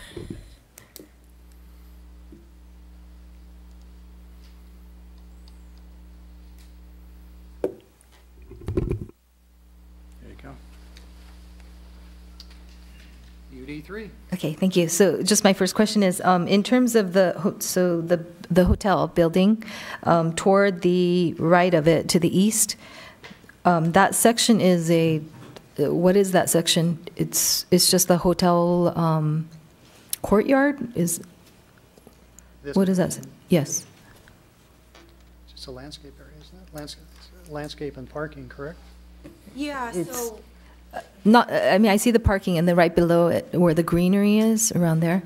Right. What is so that space? There are the existing PG&E towers that are in there, so around it would be planting areas, and then there would be some hardscape that could have some permanent seating and tables. Okay, Not necessarily programmed for anything, but just kind of open for the public. Okay, so there is that walk, so there is a walkway that goes straight from the sidewalk, it almost looks like at Millbrae? Yeah, so there'd be Avenue? a connection from the public sidewalk that would kind of go in between the towers into that plaza area. Um, and you could access the parking lot that way, and then I believe there's, um, an entry into the hotel on that side of the street too. Okay, and, and kind of related to that is because you do have the gas station that's right next to it, and um, I'm just curious about what that border looks like between your project and where the gas station backs, the gas station is basically where that box is, I think. Right, so it looks like in, in kind of the, the area that separates our project from the gas station, it would just be planting area. Just planting area and it's level, same one level, so. I don't know if there's a grade difference there. There could be, but I don't think it'd be anything significant. Okay, thank you. And um, I'm just going to go in order of the pages, so it's going to vary in, um, so UD05, which is, I think, just the next one. So on the corners of Millbrae Avenue and the Rollins Road, you have um, movable seating. Uh, Who's taking care of that? That's, that's an example of if we had a tenant that was a restaurant, they would um, put their own seating out there, and they'd be, the leases would say they'd be responsible for it. Okay, so the goal is to have restaurants probably on those corners, is Yeah, that? we- uh, We think those are two really good spots for uh, restaurants, coffee shops, things like that, that create activity and invite you into the project. Okay, thank you. I just wanted to clarify. And then um, the next one, UDO 7. On, how do I describe this? Right, almost in the middle of the pedestrian plaza, um, north of, uh, north of Site 5B, right, right there, um, where you're at, the pedestrian plaza. Um, You have circular lines going, so that's, can you just describe what that is? Is that stair seating? Sorry, losing my voice. So going from building 5B, and then right, um, there's that pedestrian plaza right toward the center. And then you have some circular lines radiating off from 5B. In that, okay, so the rectangle that you were, no, the rectangle that you were in, the bigger one, right, and then just the bottom left there. What are those? Those are our um, art pieces. The circular lines are the art pieces? Paving pattern, the circular? Is it just a pattern? Oh, yeah, Oh, okay. the round areas, okay. Right. the- Sean Taylor, he's our landscape architect, so. Thank you. There you go. Hi, everybody. Thanks for uh, uh, let- allowing me to come up here and speak to that area. So, so that area is um, activated with tables, um, little art sculptures, and the circular lines that you're seeing are just um, within the paving patterns to help define that spot. So they're they're not steps or anything like that. Okay, but then you do have, uh, above that, then, that, that's, that is a stair seating for the office building? Is that? That, yeah, this, this is the stairway for the To office. the office? Get a little closer to the microphone, please. This is the stairway for the office building, correct. Okay, thank you. I- I'm just trying to get a visual of, if I'm sitting, standing there, what is it that I'm seeing as I go around, look around? So, okay, um, thank you. And then um, UDO 9, I'm just going to blast through as fast as I can, so. So this is the um, end of East Station Road, U- UDO 9. Yes, that's, that's right. Um, Right, so you have the East Station Road, the end of East Station Road, and then there's that turnaround for the buses to be able to turn around. Um, I'm trying to get a, vi- a feel for that plaza area that is, that's adjacent to it. Um, What's between the turnabout and the plaza where people are walking? Sean, you want to, you're talking this. Is it, right right, so that area, so is, there's like, I'm assuming it's a raised curb or of some amount, or I, I just can't, The, uh, what do you have there? It's, part of it's a rolled curb because there's a emergency vehicle access that comes from that circle uh, to um, South Station Road. And also, there's a 20-foot wide emergency vehicle exit that runs all the way through Garden Lane up to Rollins Road again. Okay, so, um, so it's a rolled curb, the whole, the whole circle around it? Um, I Or believe- just sections of it? I think just sections, some of it will be a um, regular curb, but it'll be rolled for the EVA where we need it. Okay, which is that, I think at the bottom, uh, toward the bottom, there's a maintenance vehicle access? Is that, that's what you're referring to? Yeah, it comes from down below. You can see the dark dashed lines. You need a mic, Oh, please. sorry. So the EVA is running through this area and then goes up, and then vehicle access into that spot happens right here, I think where you were talking. So, yeah, it would be rolled there for, And the rest of it would just be a curb, a straight curb? I believe so. We believe so. I mean, it may, it may vary slightly in the plans to meet BART's needs, uh, because they have a, a cash truck that uh, takes deliveries, and sometimes it needs to come up there too. So in the, In the final plans, it may vary slightly, but that's, what you see there is mainly what's going to happen. Okay, I, um, just a comment for me, I, I can comment now, right? Yeah.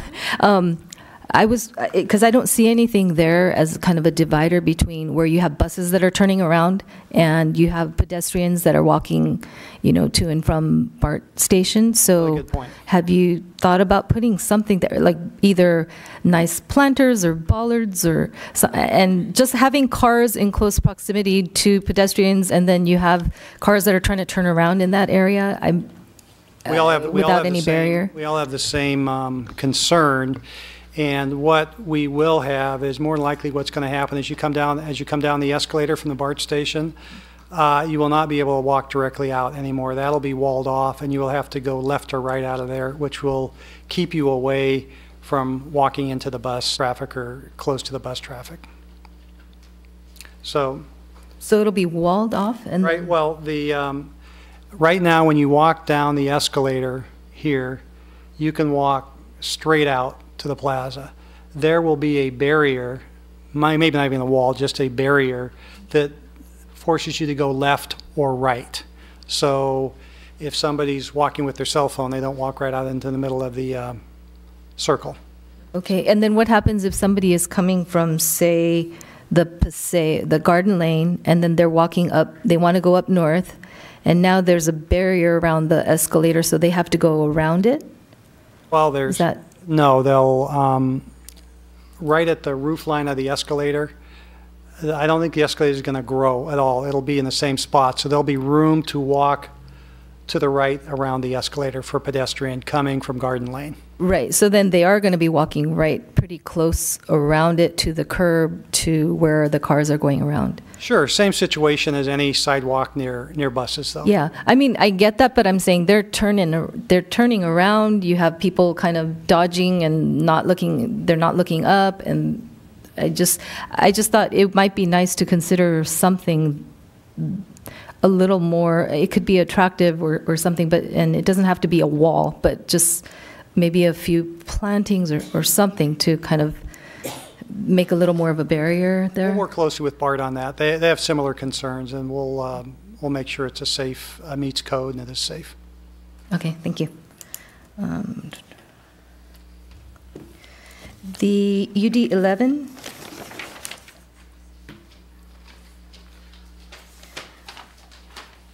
um, let's see. Oh, this is all the art. Um, Oh, actually, I can skip this one, I'm sorry, this one's fine. Um, But, oh, no, staying here. Um, Two, so the surface decorative manhole, so this is a big manhole? It it looks like on the drawings where the placement is, that it's, can you just go over that and describe, it's UD, number two, yeah. Right. It's not just a regular sized manhole, right? It's a big, is it, No, these would be regular. um, Oh, they are? Manholes. The idea is that instead of just having your standard typical manhole, say in our nice plaza that we're trying to make decorative, we would actually be able to design a special manhole that maybe features um, the project identity or something special to the city or maybe the transportation theme. Okay. So basically, it's a manhole, but it's just is more decorative. Okay, I got a little confused because on the previous one where it shows the locations, um, it says two, and then there's a big circle, so UD 10. And so I was like, I just wanted to confirm that that is going, that is not this huge, big circle that we're talking about, but it's just, there's paving. So if you can go to UD 10 right before.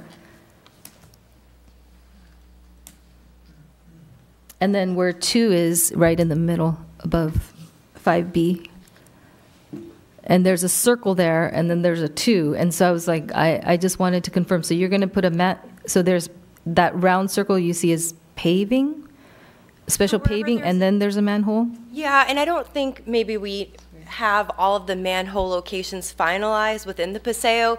The idea is that anywhere that you do find a, a manhole in these kind of areas, like I said, that we want to make extra decorative, you would find this enhanced manhole. So it could be technically anywhere within that Paseo. I don't know if that's the exact location, but the number two is just the general location, not the specific size. Okay, so that, then that two, that area there, is that paving decoration, or what, what is that? Where that two was? So the two is just meant to highlight. I know, I mean, where the two is located, there's a big circle there. Oh. So can you just describe that? Sure. So that's just kind of a decorative area. It's meant to be kind of a turnaround. So if someone drives down Garden Lane and maybe they didn't intend to actually pull into the parking structure, the residential garage, they could kind of just turn around and exit. Okay, I see. And so it's just, like I said, it's decorative, decorative paving to kind of highlight the turnaround. Okay, thank you. Um, And then back to UD 11.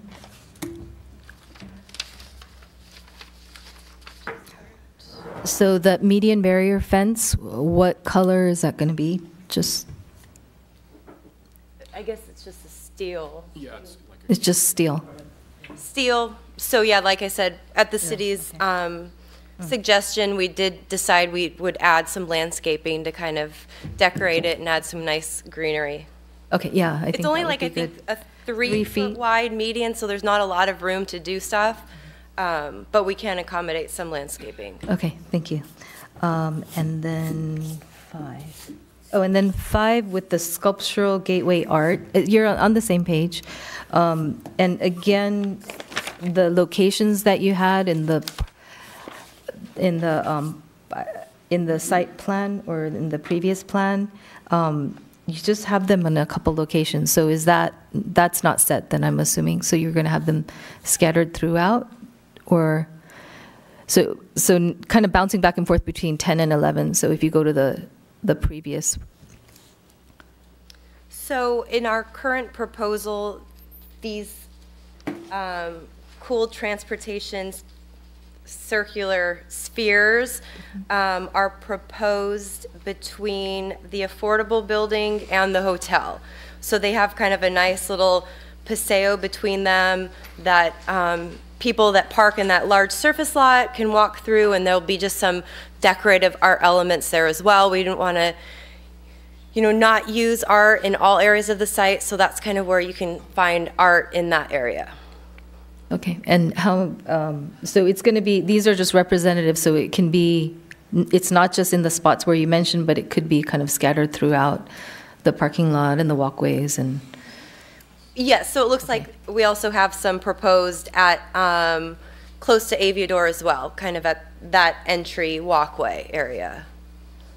Okay. I, I just thought it would be nice to be able to have more, uh, I mean, kind of to co- make it more cohesive with other areas, um, that it might be nice to have a little bit more than that, but just So we my do thought. have those, that same material proposed at that, um, the art screen, which is, um, number six in the plans. Mm-hmm. Um, so right behind the BART Plaza. So our idea was to, yeah, incorporate that same kind of transportation material theme throughout the project.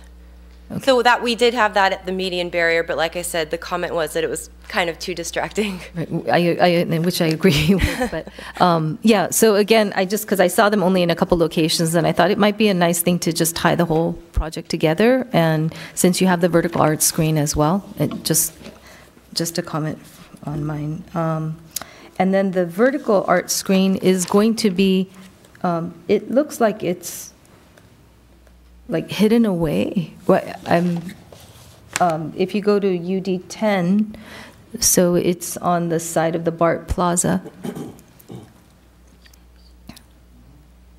Kind of tucked away. It, I don't, it looks like it's just kind of hidden away there. That- It, can you see? Okay. purposes for that. One is, um, as you're walking down Garden Lane, you'll see it. As you're walking to the BART station, you'll see it. And it will kind of hide a little traffic too behind Okay. it. So that's the, that's the reason for the Main thing location. for that, okay. And how tall, how tall and wide was that? Do you have, how tall and wide is that going to be? Dimensions right there, right? Is that it? Not of the screen. I'll, I, I don't have the exact dimensions. I believe it's about, gosh, six to eight feet tall, I believe, and so about eight feet tall and maybe like 20 feet wide. Oh, okay, okay. And the idea is there'll be some panels that are open so that you can see through it. It doesn't just create like a wall that you can't see through and hide behind. Um, Okay, and uh, actually, I like it like that better, where it looks like I, the BART train, kind of a BART train pattern, is, was that intentional?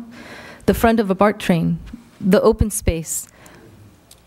I don't know, that's just, that's just my, I thought that was intentional, to kind of look like the top of the BART train, the front. Oh, I get what you. You get- yeah. That is. It does. That's what I thought it was. like it. Yeah. So I thought that's kind of interesting that you have BART going into Millbrae and kind of tying in all the customs and stuff. So I, I don't personally, I like that. Um, okay, and then I'm gonna, and then to UD 12.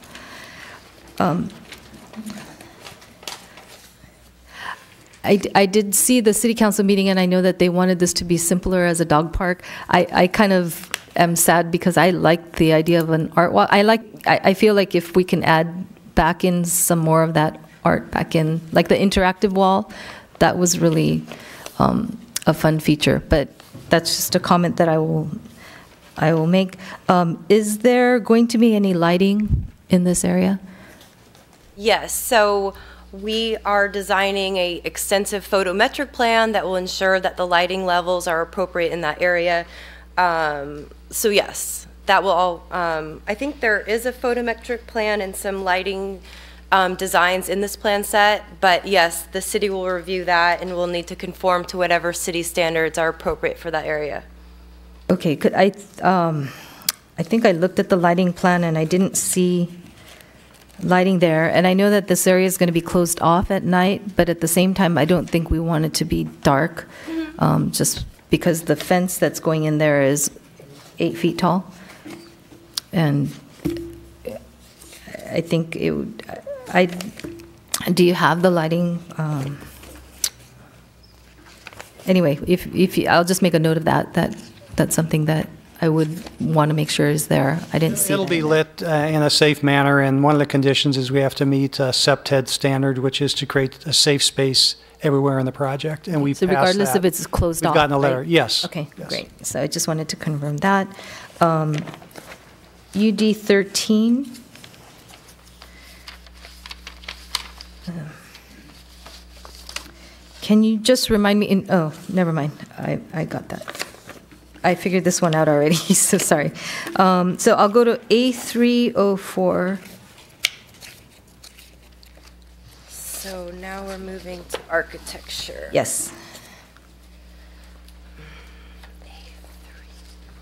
Can you remind me what s- building that's for? Oh, it's just the main, um, oh, it's the 5B, 5B, okay, thank you. the Millbrae Avenue perspective.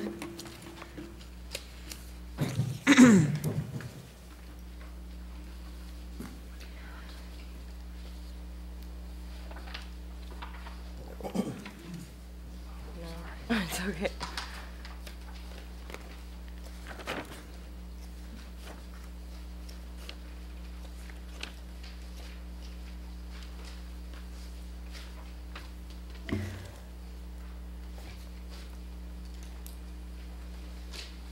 Is that the, I'm sorry, Yes, what that's, that's, that's fine. Okay. Um, Thank you. So, I think that's right. Yes. Um,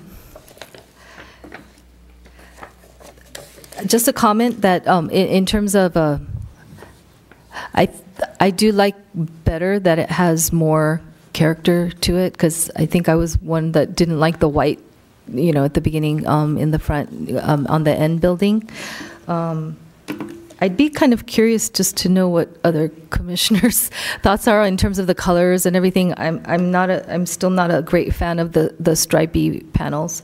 Um, and it, it feels like it is different, but it feels a little disjointed to me in terms of, maybe it's the rendering, maybe it's because I'm not getting a good feel for it, but this is a little bigger of a, kind of a question. And then related to landscaping, on the rendering here, you can see from Millbrae Avenue perspective, there are trees there. And I don't see anything on the landscape plan that it's related to that. So I guess two questions kind of rolled in to one.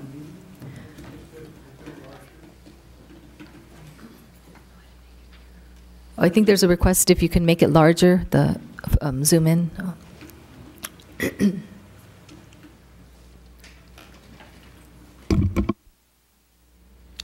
If I, while we're waiting, if I may clarify, when you say the, kind of the more stripy material, is that the, the brown area here? The second building. Oh, this one right here? No, um, so the, start from the end with the brown, the, the cap, and then move one just right there. Right here?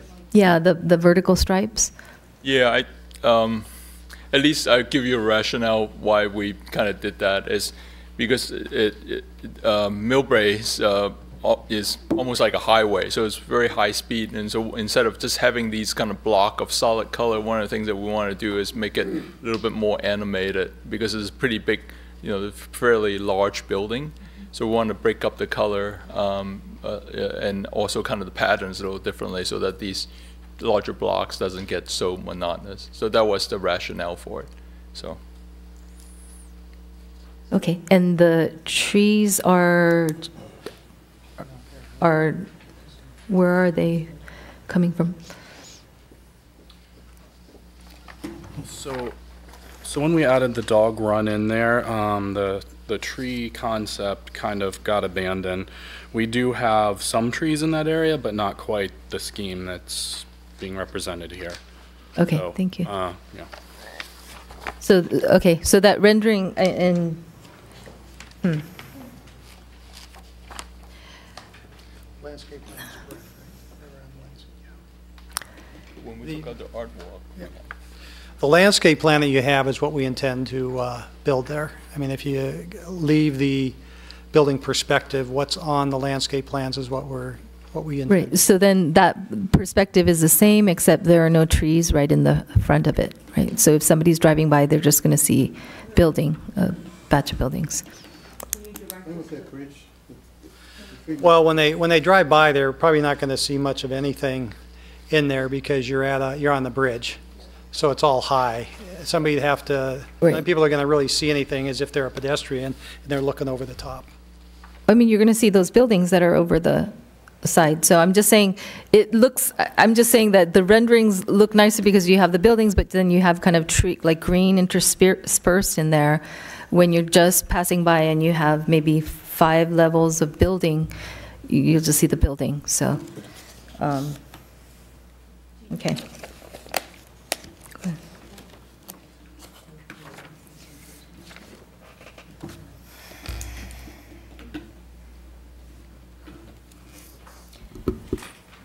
Oh, I, okay, so I'll just put that comment out there that it's still kind of a, um, the colors and stuff. Uh, The Um, short answer is there's, there's few or no trees in there now. Right, okay, I mean, that's fine, but um, in terms of my comment about the colors and, and everything, it, um, personally, to me, it feels a little bit disjointed, but, um, okay, and then I'll just go to the, I'm just running through questions. So um, A4, the 6A, the affordable housing.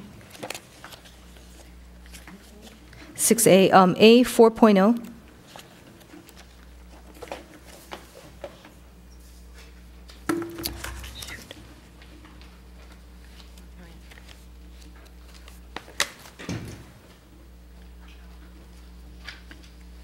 I'm sorry, A, 3, A 3.07. Sorry. Going back, yeah, 3.07, so go back to 5B. Sorry.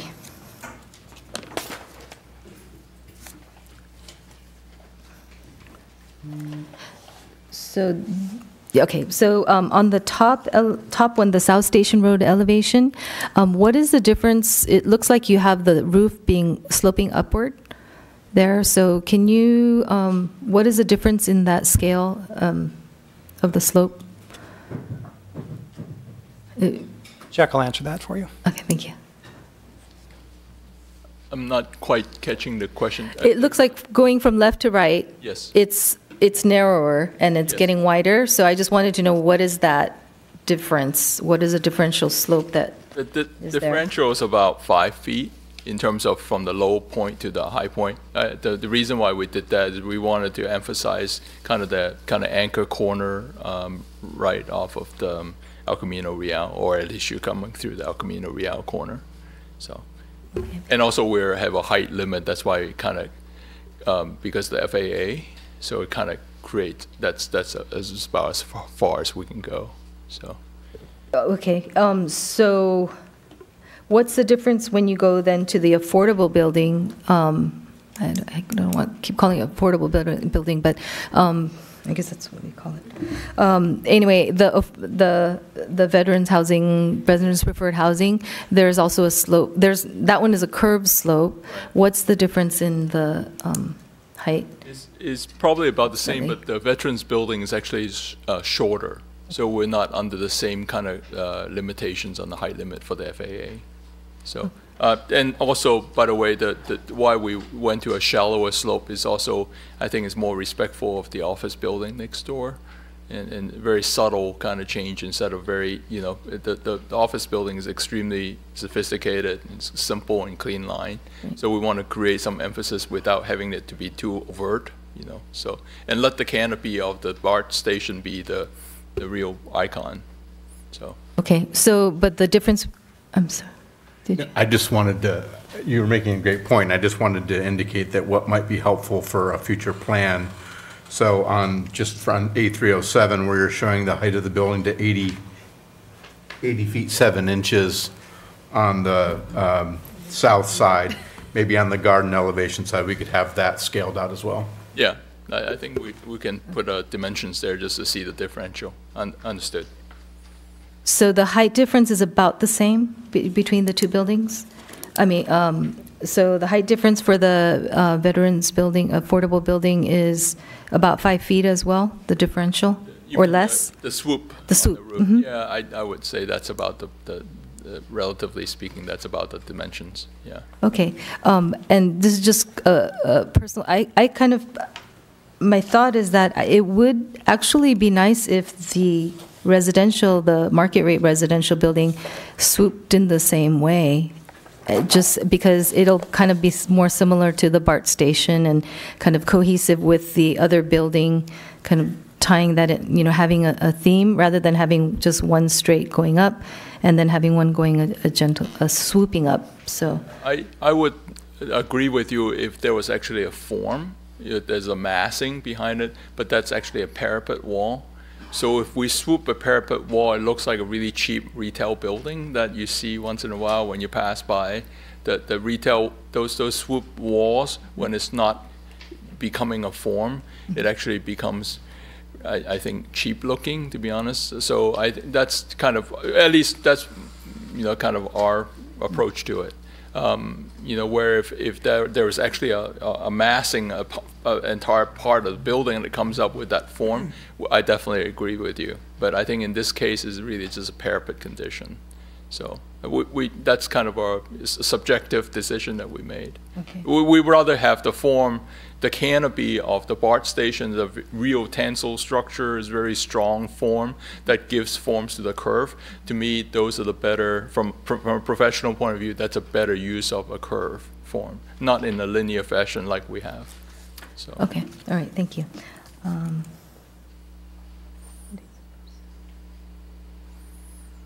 And, uh, sorry, Um, going to the landscaping, I'll, I'll just jump to the landscaping one, now to one, if I may.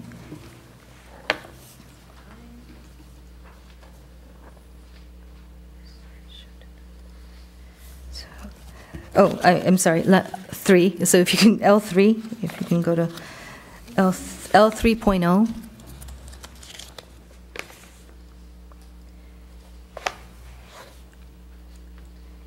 And can you just describe, because um, it's hard to get that perspective up again, so these residential courtyards, it's kind of, you have the buildings that are bumping in, right? But these res- residential courtyards, they're not on the ground floor, right? No, they're They're actually on the- elevated on the, essentially the third floor, so it's almost at level with Millbrae um, Avenue. And that's why it's kind of a cool thing, is that, you know, at the ground level, you have the garage, you know, plinth that push it up, but then the residents are now living off of those courtyards, are actually viewing the, the hills beyond, and, and, uh, you know, just so that it interfa- inter, inter, interact with uh, the uh, streets.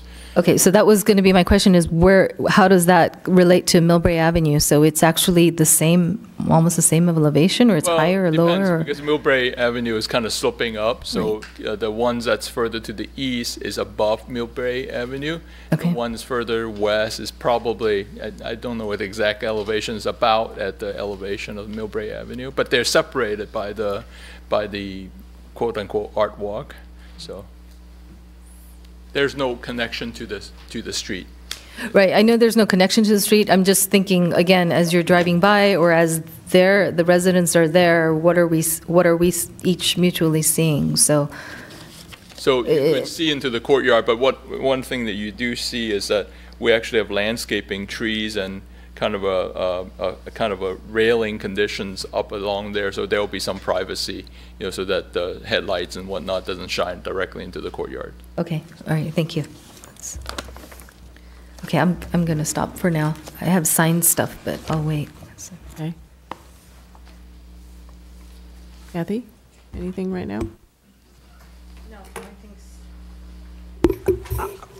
I had noticed some of the same items, but no sense everybody talking about the same thing more than once.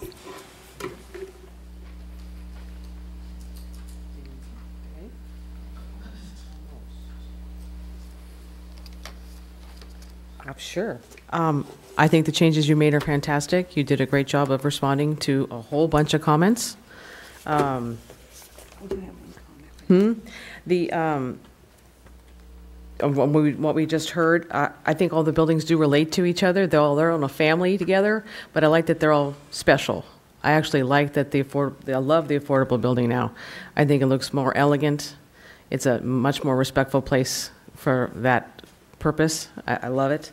Um, what else? I love that there's a dog park. I know it's a more simple use, but um, our, I'm not even a dog person. I have cats, but uh, I know that people need need dog parks. They need a place to take their dogs, and your residents are. It sounds like they will have dogs, and it's that's fabulous use of that space. I mean, that was that was a good idea. Um, what else? I like the multicolored on the um, residential, the different color blocks. Those don't bother me. They don't. No, when, especially this one, this elevation here on A304, because it, you get, it just looks a little more subtle when it's all back. You, you can see how, like, the two ends look a little bit more special. I love the new mm, west-facing side. Um, It does have more dimension now, which is nice. Um,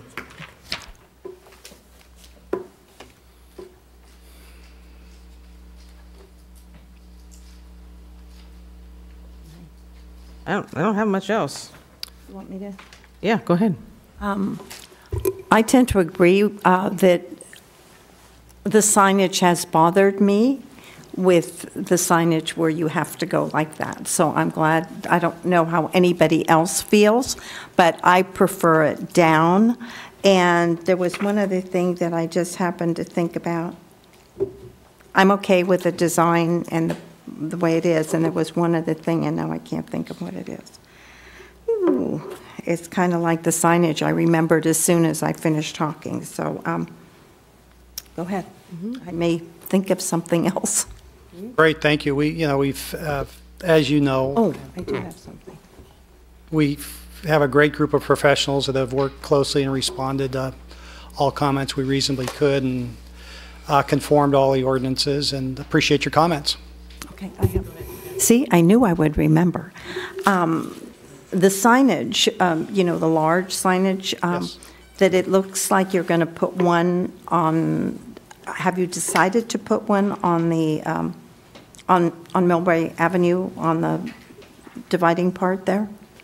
We have two options for you if you'd like to see them. I mean, we're happy with either one.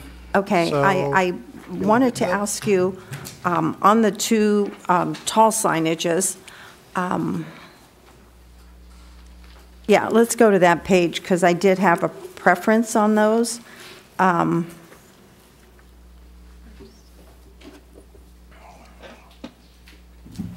So Here they are. those are the two variations. Yeah. See the two locations also, or just the variations? Um, The two variations and the location, to me, the one, um, see, I knew, um, I prefer the one on the left, and it looks like the bottom has the city seal on it, is that correct? It has room for several seals if you want. Yeah, and I prefer Millbrae, am I going down? Um, I, I like it a lot better than the traditional Millbrae signage that was recently approved. Um, Was not my preference, but I'm just giving you my thoughts here. Um, There was one place of it, um, at building number one, please help me find it. Um, on the corner where you had the tall signage there. Um, Page, page nine on the sign plans. Hmm? Page nine on the sign plans, I think is what you're looking for. This one? On these or on this one? that one. Is that it? Yes. Yes.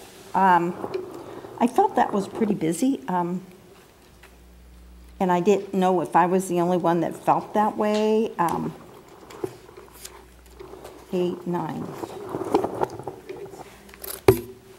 Uh, Yeah. I, I I didn't think we needed the tall sign there. Um, I preferred Gateway at Millbrae Station, and then the signage down here. The one where it has option A, it seems like the sign there was cluttering up the corner. Okay. I mean, We, the, the second option you see up here, which is on the median on Millbrae Avenue, and that would clear the corner out and make room for the marquee sign on the building if you want that. Those were the two options that staff liked, yeah, and, and we got a ton of feedback on signage, and this is a culmination of that feedback. yeah, because to me, the stand-up sign on the street corner is cluttering up with the Gateway Millbrae Station with all the other little things, and I, I personally prefer the Gateway Millbrae Station coming down. Our project architect, Chuck Tang, strongly agrees with you on that point, too, but uh, again, we've got two options. I, I mean, I did see the two options, and um, in fact, the red one that's there, what, what was underneath those four? Were they just four dots, or? Um, Those are placeholders for city symbols or clubs, a Kiwanis Yeah. Club, uh, Well, we Veteran need- Associations. The unfortunate thing is, we would need a lot more than four, so I think if they weren't there, it might be easier. And then, uh, if anything, it, it would seem like it would be better on Millbrae Avenue than inside your project. Okay, I mean, the two things. we agree. But I, I, I did like the tall sign on, on the medium strip um, there, um, because uh, we are removing the existing corners. That's what you purchased, Correct, uh, only on one side, on your side? correct. Okay, so of staff, staff, the other side is staying the way it is?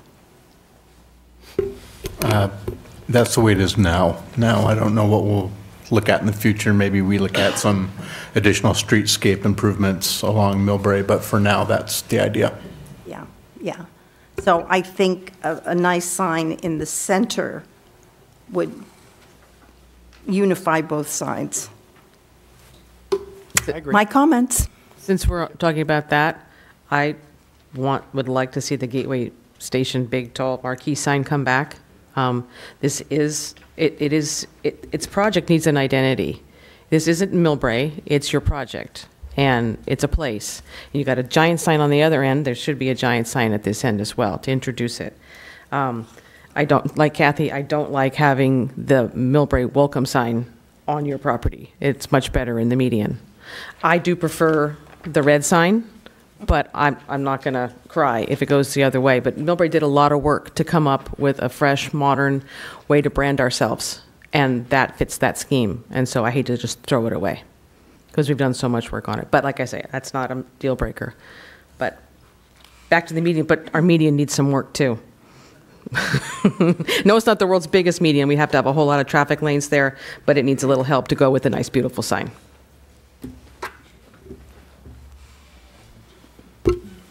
Go ahead. Thank you. I might think of something else. Can I just make a comment on the sign? Sorry, since we're on it, and then, um, so I'll just put it, yeah, I'll just throw my two cents in. I, I agree as well. I think it, I mean, it, it feels really busy on that corner, and I do agree with Commissioner um, Davis as well about the marquee on that, and the, on that corner. I, I really like that, having that there. That does have the lettering going sideways too, so just to make a note, the marquee, the, uh, page nine. Correct. It's going sideways as well, so, just a note. Um, I would, I would probably um, prefer also the red sign. It wasn't my first choice when we, when it went through us, but it's, it's there uh, in the other parts of the city, and I think, you know, to keep that, you know, cohesion. And also, um, if you have a sign that's, that's see-through, like that one, then when they're coming out of Millbrae, it's backwards, right? It's backwards when they're coming toward the freeway. It is. It won't be because it's. it- Sideways. But if you, if they make it straight, it'll, Then it'll be backwards for sure. how? It'll be backwards however you, if you look at it from the other side, go to the other side, it'll be, It'll be like look- looking in a mirror. it'll be, yeah, it'll be backwards. So I, I- so I think that's kind of, that'll be distracting. So, um, I- The solid sign will remedy that. The, uh, yeah, so the solid sign, then you could put Millbrae on both sides. Well, I guess you don't need it when you're exiting, but in any case, y- it's, yeah, you can have it on both sides, but you'll have the M, which will be the same either way. And um, like I said, I, I wasn't the biggest fan of these signs, but thought it, thought it looks like a cat. But um, but it's there, and it actually turned out okay. I like yeah, I, I was like, that looks like a cat. But um, And since she made that comment at one yeah. of the planning meetings way long back, It's- I- every time I see the sun. I know, I'm sorry. Add some levity to the conversation. Um, but it's there, it's part of our, you know, the city and what we have, and I think that kind of cohesion, especially if it's going to be in the median, makes more sense to me. So I, I- I'll leave that. Ready? Yeah. Um, As soon as she said it, I see it every time. But I think um, my comments are relatively concise in this, you know, typed up format. But uh, as far as the project as a whole, I think it'll go a long way if we can allocate some of those commercials and retail space in more strategic locations. I think meeting the minimum retail and commercial space requirement is exactly just that, just meeting the minimum. Um, it could be more and it could be better, and if you do, it'll benefit Millbrae a lot more. So I would highly encourage that. I believe the northwest corner and along the Garden Lane, you know, within the 5B building, um, it- it's a premium space for commercial and retail activities. And I think those high traffic areas should be more activated. Um, and they can prioritize for, for retail over bike storages, uh, maintenance space, and leasing office and fitness centers, which is what you currently propose them to be um, facilities such as bike storage as well as maintenance space. Um, they could be relocated to front South Station Road instead and still be relatively convenient and still be relatively appropriate uh, for the tenants and your maintenance staff, I'm sure. Um, on to the second comment, the hotel component of this development is a highly visible part of this project. Um, and it's important that this hotel looks good and it projects the proper image of Millbrae. I think, you know, eventually, no matter what you, however you look at it, every pedestrian and travelers that get off the BART stations and train stations, this is the first thing they see as far as Millbrae goes. So the image that this hotel projects, it'll be, it will, it will reflect upon the people who, who walks into our town as a, as a, a first impression. So it's an image that it looks good. It's important that this image looks good. Um, hotel tax is a key component to the economic benefit that this project will bring to Millbrae. I think the current hotel doesn't have any meeting rooms or banquet rooms and available for events. Um, so I think if there's anything we can do to make this project more successful, Uh, it would make sense for us to have a hotel of higher level of amenities. The TOT revenues in this project would directly benefit Millbrae, and will help us maintain our city and revamp our aging infrastructure and keep our city revenue streams more stable. So in essence, I think this project is already approved as it currently stands, and the DA is already signed. So, you know, it will need to move forward as quickly as possible for the sake of Millbrae, I think. So I think all Millbrae residents wants to see this project done and be a successful project, not only for the applicant, but as well as for Millbrae as a whole. So I think I'm really hoping that to look forward to seeing more cooperations, you know, from the applicant, and instead of saying, this is what we have today, you know, we like to approve it as it is, um, maybe actually work towards some of the spirits of these requests and modify the project in a way that will benefit Millbrae a little more. Thank you, Mr. Fung, for your comments. I guess my quick response is we feel we've been very cooperative, worked very collaboratively with your staff, uh, the study sessions, the council, and the planning commission. Uh, We've given you the reasons why we've laid the building out the way we have. It's uh, structurally, we're already down the road on it, and we believe the way it's laid out will, uh, will give it our best chance of success. We've have a all our experts here who helped us do this. Uh, Again, our experience in the business indicates this is the way we should do it. We conform, as you've mentioned, we conform to the specific plan and all the elements of it. And I I appreciate your comments, but again, I would respectfully request that we, you uh, approve what's before you this evening, and staff's recommendation. Thank you. I did have one. Um, I was looking at the floor plans, and the size of the apartments are very generous. Thank you. Um, I have a couple Very comments. livable. Um, If I can go back to signs a little bit more, so the 6A affordable housing sign, page 33, In which, um, in the signage, signs, so page 33 in the sign program.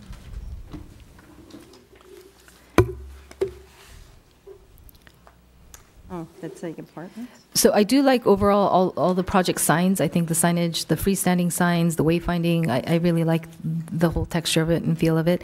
Um, I just had a question, um, which I had asked previously. Right now, it just says apartments. It's not going to just say apartments, right? So what is the, uh, what is the wording? Yes. It will not say apartments. We do not have an official project name yet, but I guarantee you it'll be a lot better than apartments. Okay, thank you. Um, and I condo. I- I mean, if it's going to be veterans prefer, I mean, not that it should be strictly like a, a veteran-based or military-based necessarily, but I feel like to, I feel like this is one of the projects that we should really be proud of and um, make a big deal about. And so it's really, I- that's why I bring it up. I- I'd really like to be able to see a, a great name. I don't know if you can reach out to veterans groups or mark, you know, marketing specialists or, or whatnot, but to really get a good name in there. And then that back elevation that faces Highway 101, right now, there's no, um, there's no signage that is, I mean, there's a signage kind of low down if you look at the back elevation, so. Exactly what you're talking about. So even having some really, you know, nice, beautiful signage kind of higher up, eh, adjacent to where you're going to have the hotel signage, you know, I mean, not adjacent to, but kind of around the same level or something where, you know, we make it a big deal. I, I, I don't know, personally, I, I think that would be, you know, a great thing to have to, Understood, and we can do that. And that's just my speaking, but I'm just thinking, yeah, that back elevation, it just looks really empty, and so maybe something like that. And then the hotel building signage, page 36, um, right now it just says Residence Inn, but on your other rendering, you have it as uh, at Millbrae Station. There's some note to Millbrae on page 36. That's somewhat dictated by the franchisor in, in this case. okay. So we're showing what we know can be delivered, and Okay, so there is, I mean, so I, am not talking about the, the actual hotel itself, I'm talking about any reference to Millbrae, and if we can't do it there, then maybe all the more, it'd be great to have something on the, um, the 6B building, or 6A building. it's great, you got them, we have the marquee signed back now as you're looking to move forward with, and that's, uh, that's a major identity of the project and Millbrae. But the marquee sign would be off of Millbrae Avenue?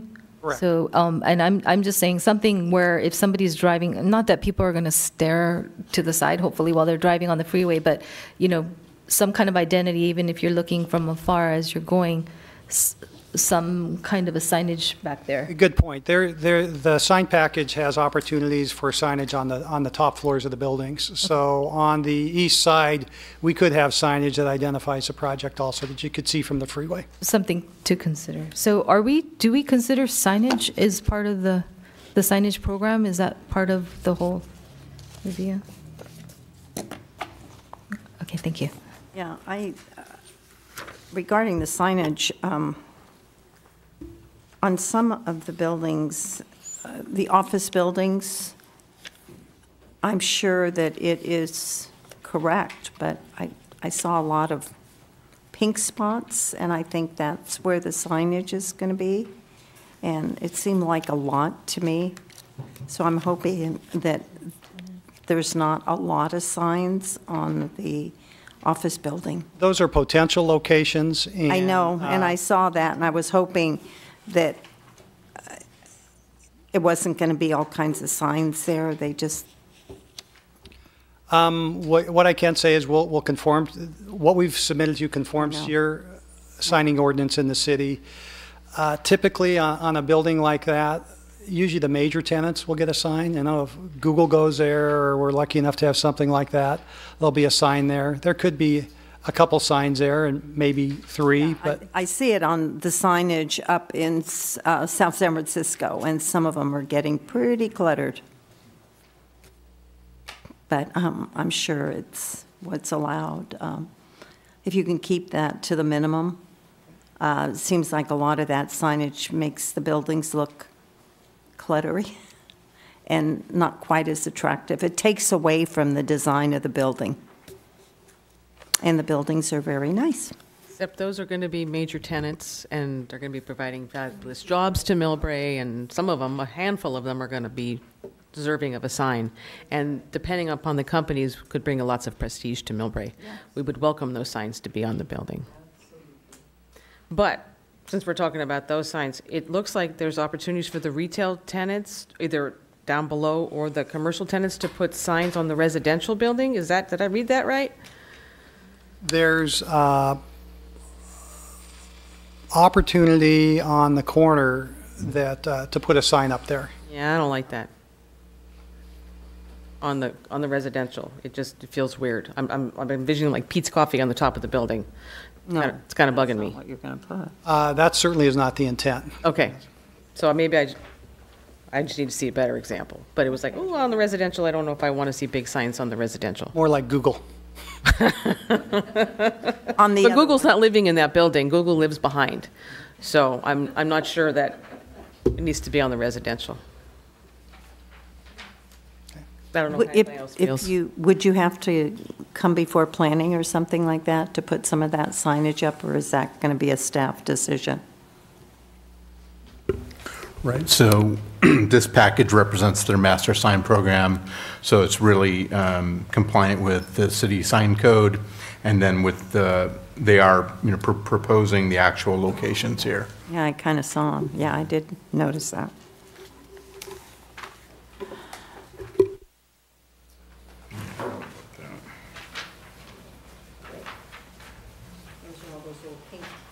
Mhm. There are opportunities, right? They may not all be taken. And thank you for saying the shops with no extra P or E. I appreciate that. Shop with no ex- superfluous Ps and Es. I, I'm- I I appreciate that. Yeah.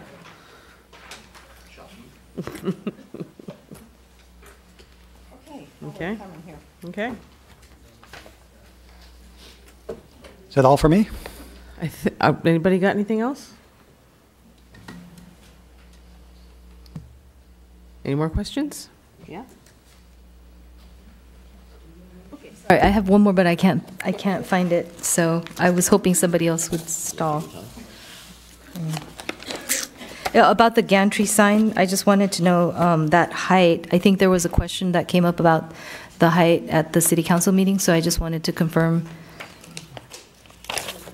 um, the height, that it's, the clearance is, It's the clearance, at Plenty least a enough? minimum of a freeway clearance. I think that is 17 feet or something like that, so.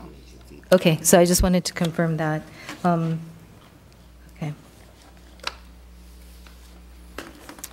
Nope, I'm good. I'm, I, li- I like the um, changeable banners along the walkway. I, I really like that aspect of it and hope that will, it's not, elec- it's not electronic, is it? It's, the changeable banners, page 19 along the walkway, I don't think they're electronic. No, no, they're not. They're just banners. Fabric uh, material. Page 19. I'm sorry, the kitty cat. Yeah. Sorry. Yeah, no, but I like that Millbrae Farmers Market banner there. I like that idea too, so. mm -hmm. So, just that comment. Okay. Maybe. Do we have a motion?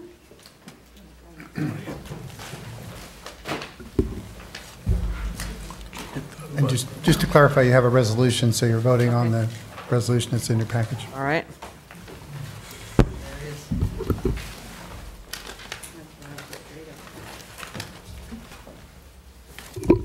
Okay. um, I make a motion that we approve, um, you want me to read the resolution? You just give the number. Uh, Resolution um, number 19-03. Is that all I need to, s- It's in the packet, so. yeah, I make a motion that we approve Resolution number 1903. Okay, I'll second. Oh, oh, Can you clear the board real quick? Yeah. Thank you. Okay, now go Kathy. There you go.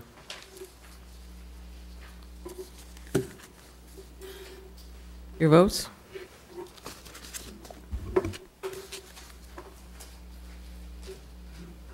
Oh, Go ahead. done? Okay. Thank you. Passes three to one with Commissioner Fung saying no, and there's a 10-day right of appeal. Okay. Thank you all very much for your time and consideration. We look forward to moving to the next step. Thank you.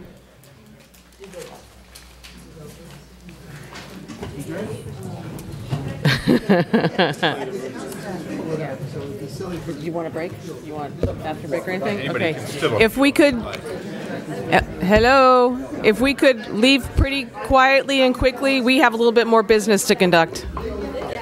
Oh, gavel. Gavel, Oh. gavel. Here we go. Gotta use it. Sure it is. Use, use her. There it is. If you could exit, if you could exit, please. Through the chair. We want to go home. Yeah, you can have your ball. Candy. Junior We still, we still have hearing, we still have some hearing left. Ladies and gentlemen, can we clear the room so we can continue the meeting? And that way, everybody gets to still vote. If the It's going to take two minutes. You just got to let And they're disqualified from being Two minutes. Okay. Someone wants to write a check and waste their money, they can make a decision. It's already going to council. Okay. All these little intricacies. I know. We still have more on the agenda. Don't make me get it out. Give it away. Okay, excuse me. Can we, we need to carry on. Can we exit, please?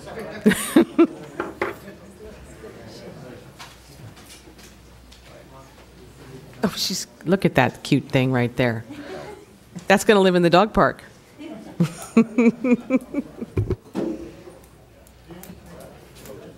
it's it. The cats are hiding in it. They're going to take over.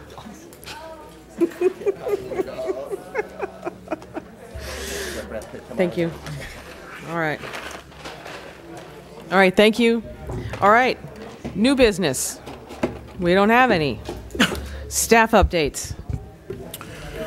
Uh, Thank you, Chair. Yeah, so uh, the one update I did want to make everybody aware of is that, you know, we are scheduled again next Monday on the 18th. And that is for, um, yeah. that is for the continuation of the, The TOD one design review, as well as consideration of the amendment to the spec- specific plan to deal with the 45-degree setback issue. Oops, sorry, Mike for you. Mike, Mike. I have it on. Oh. You still can't hear me, though. All right.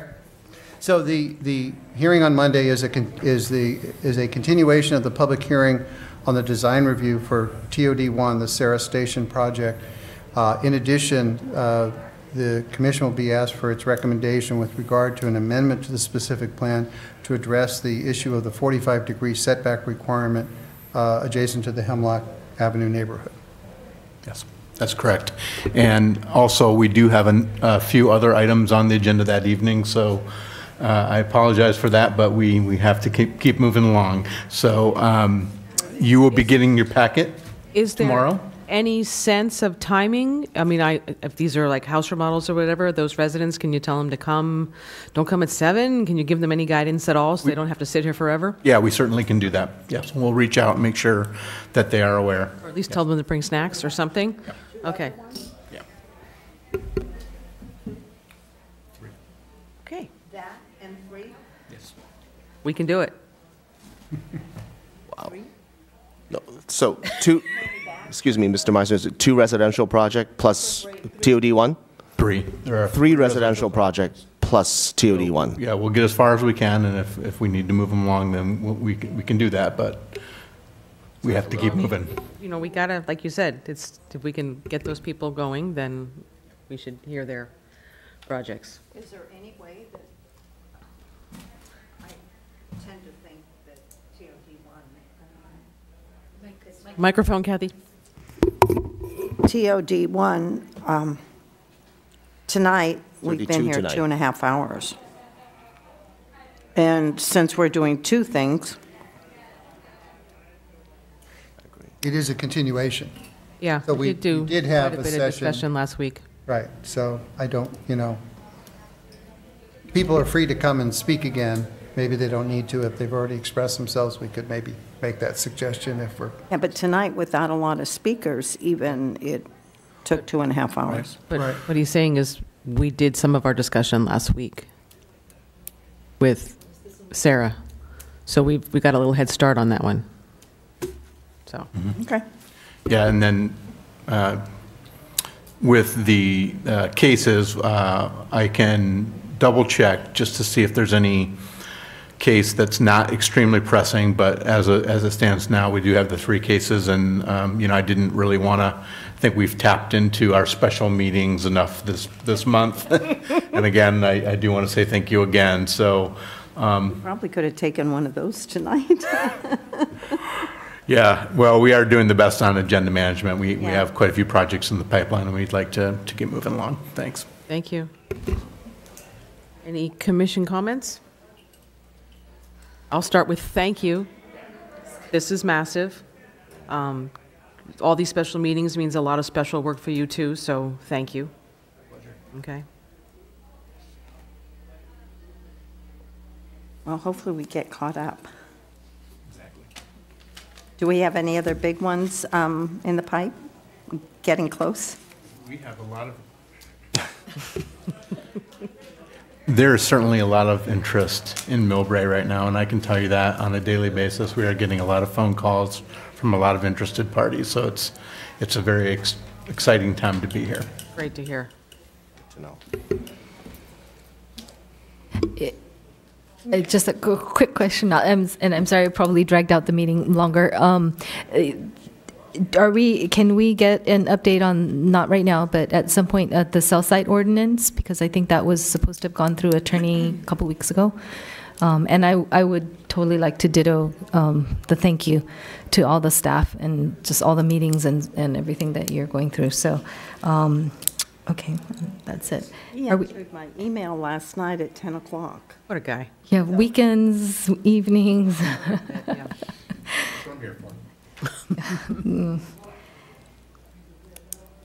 Any announcements?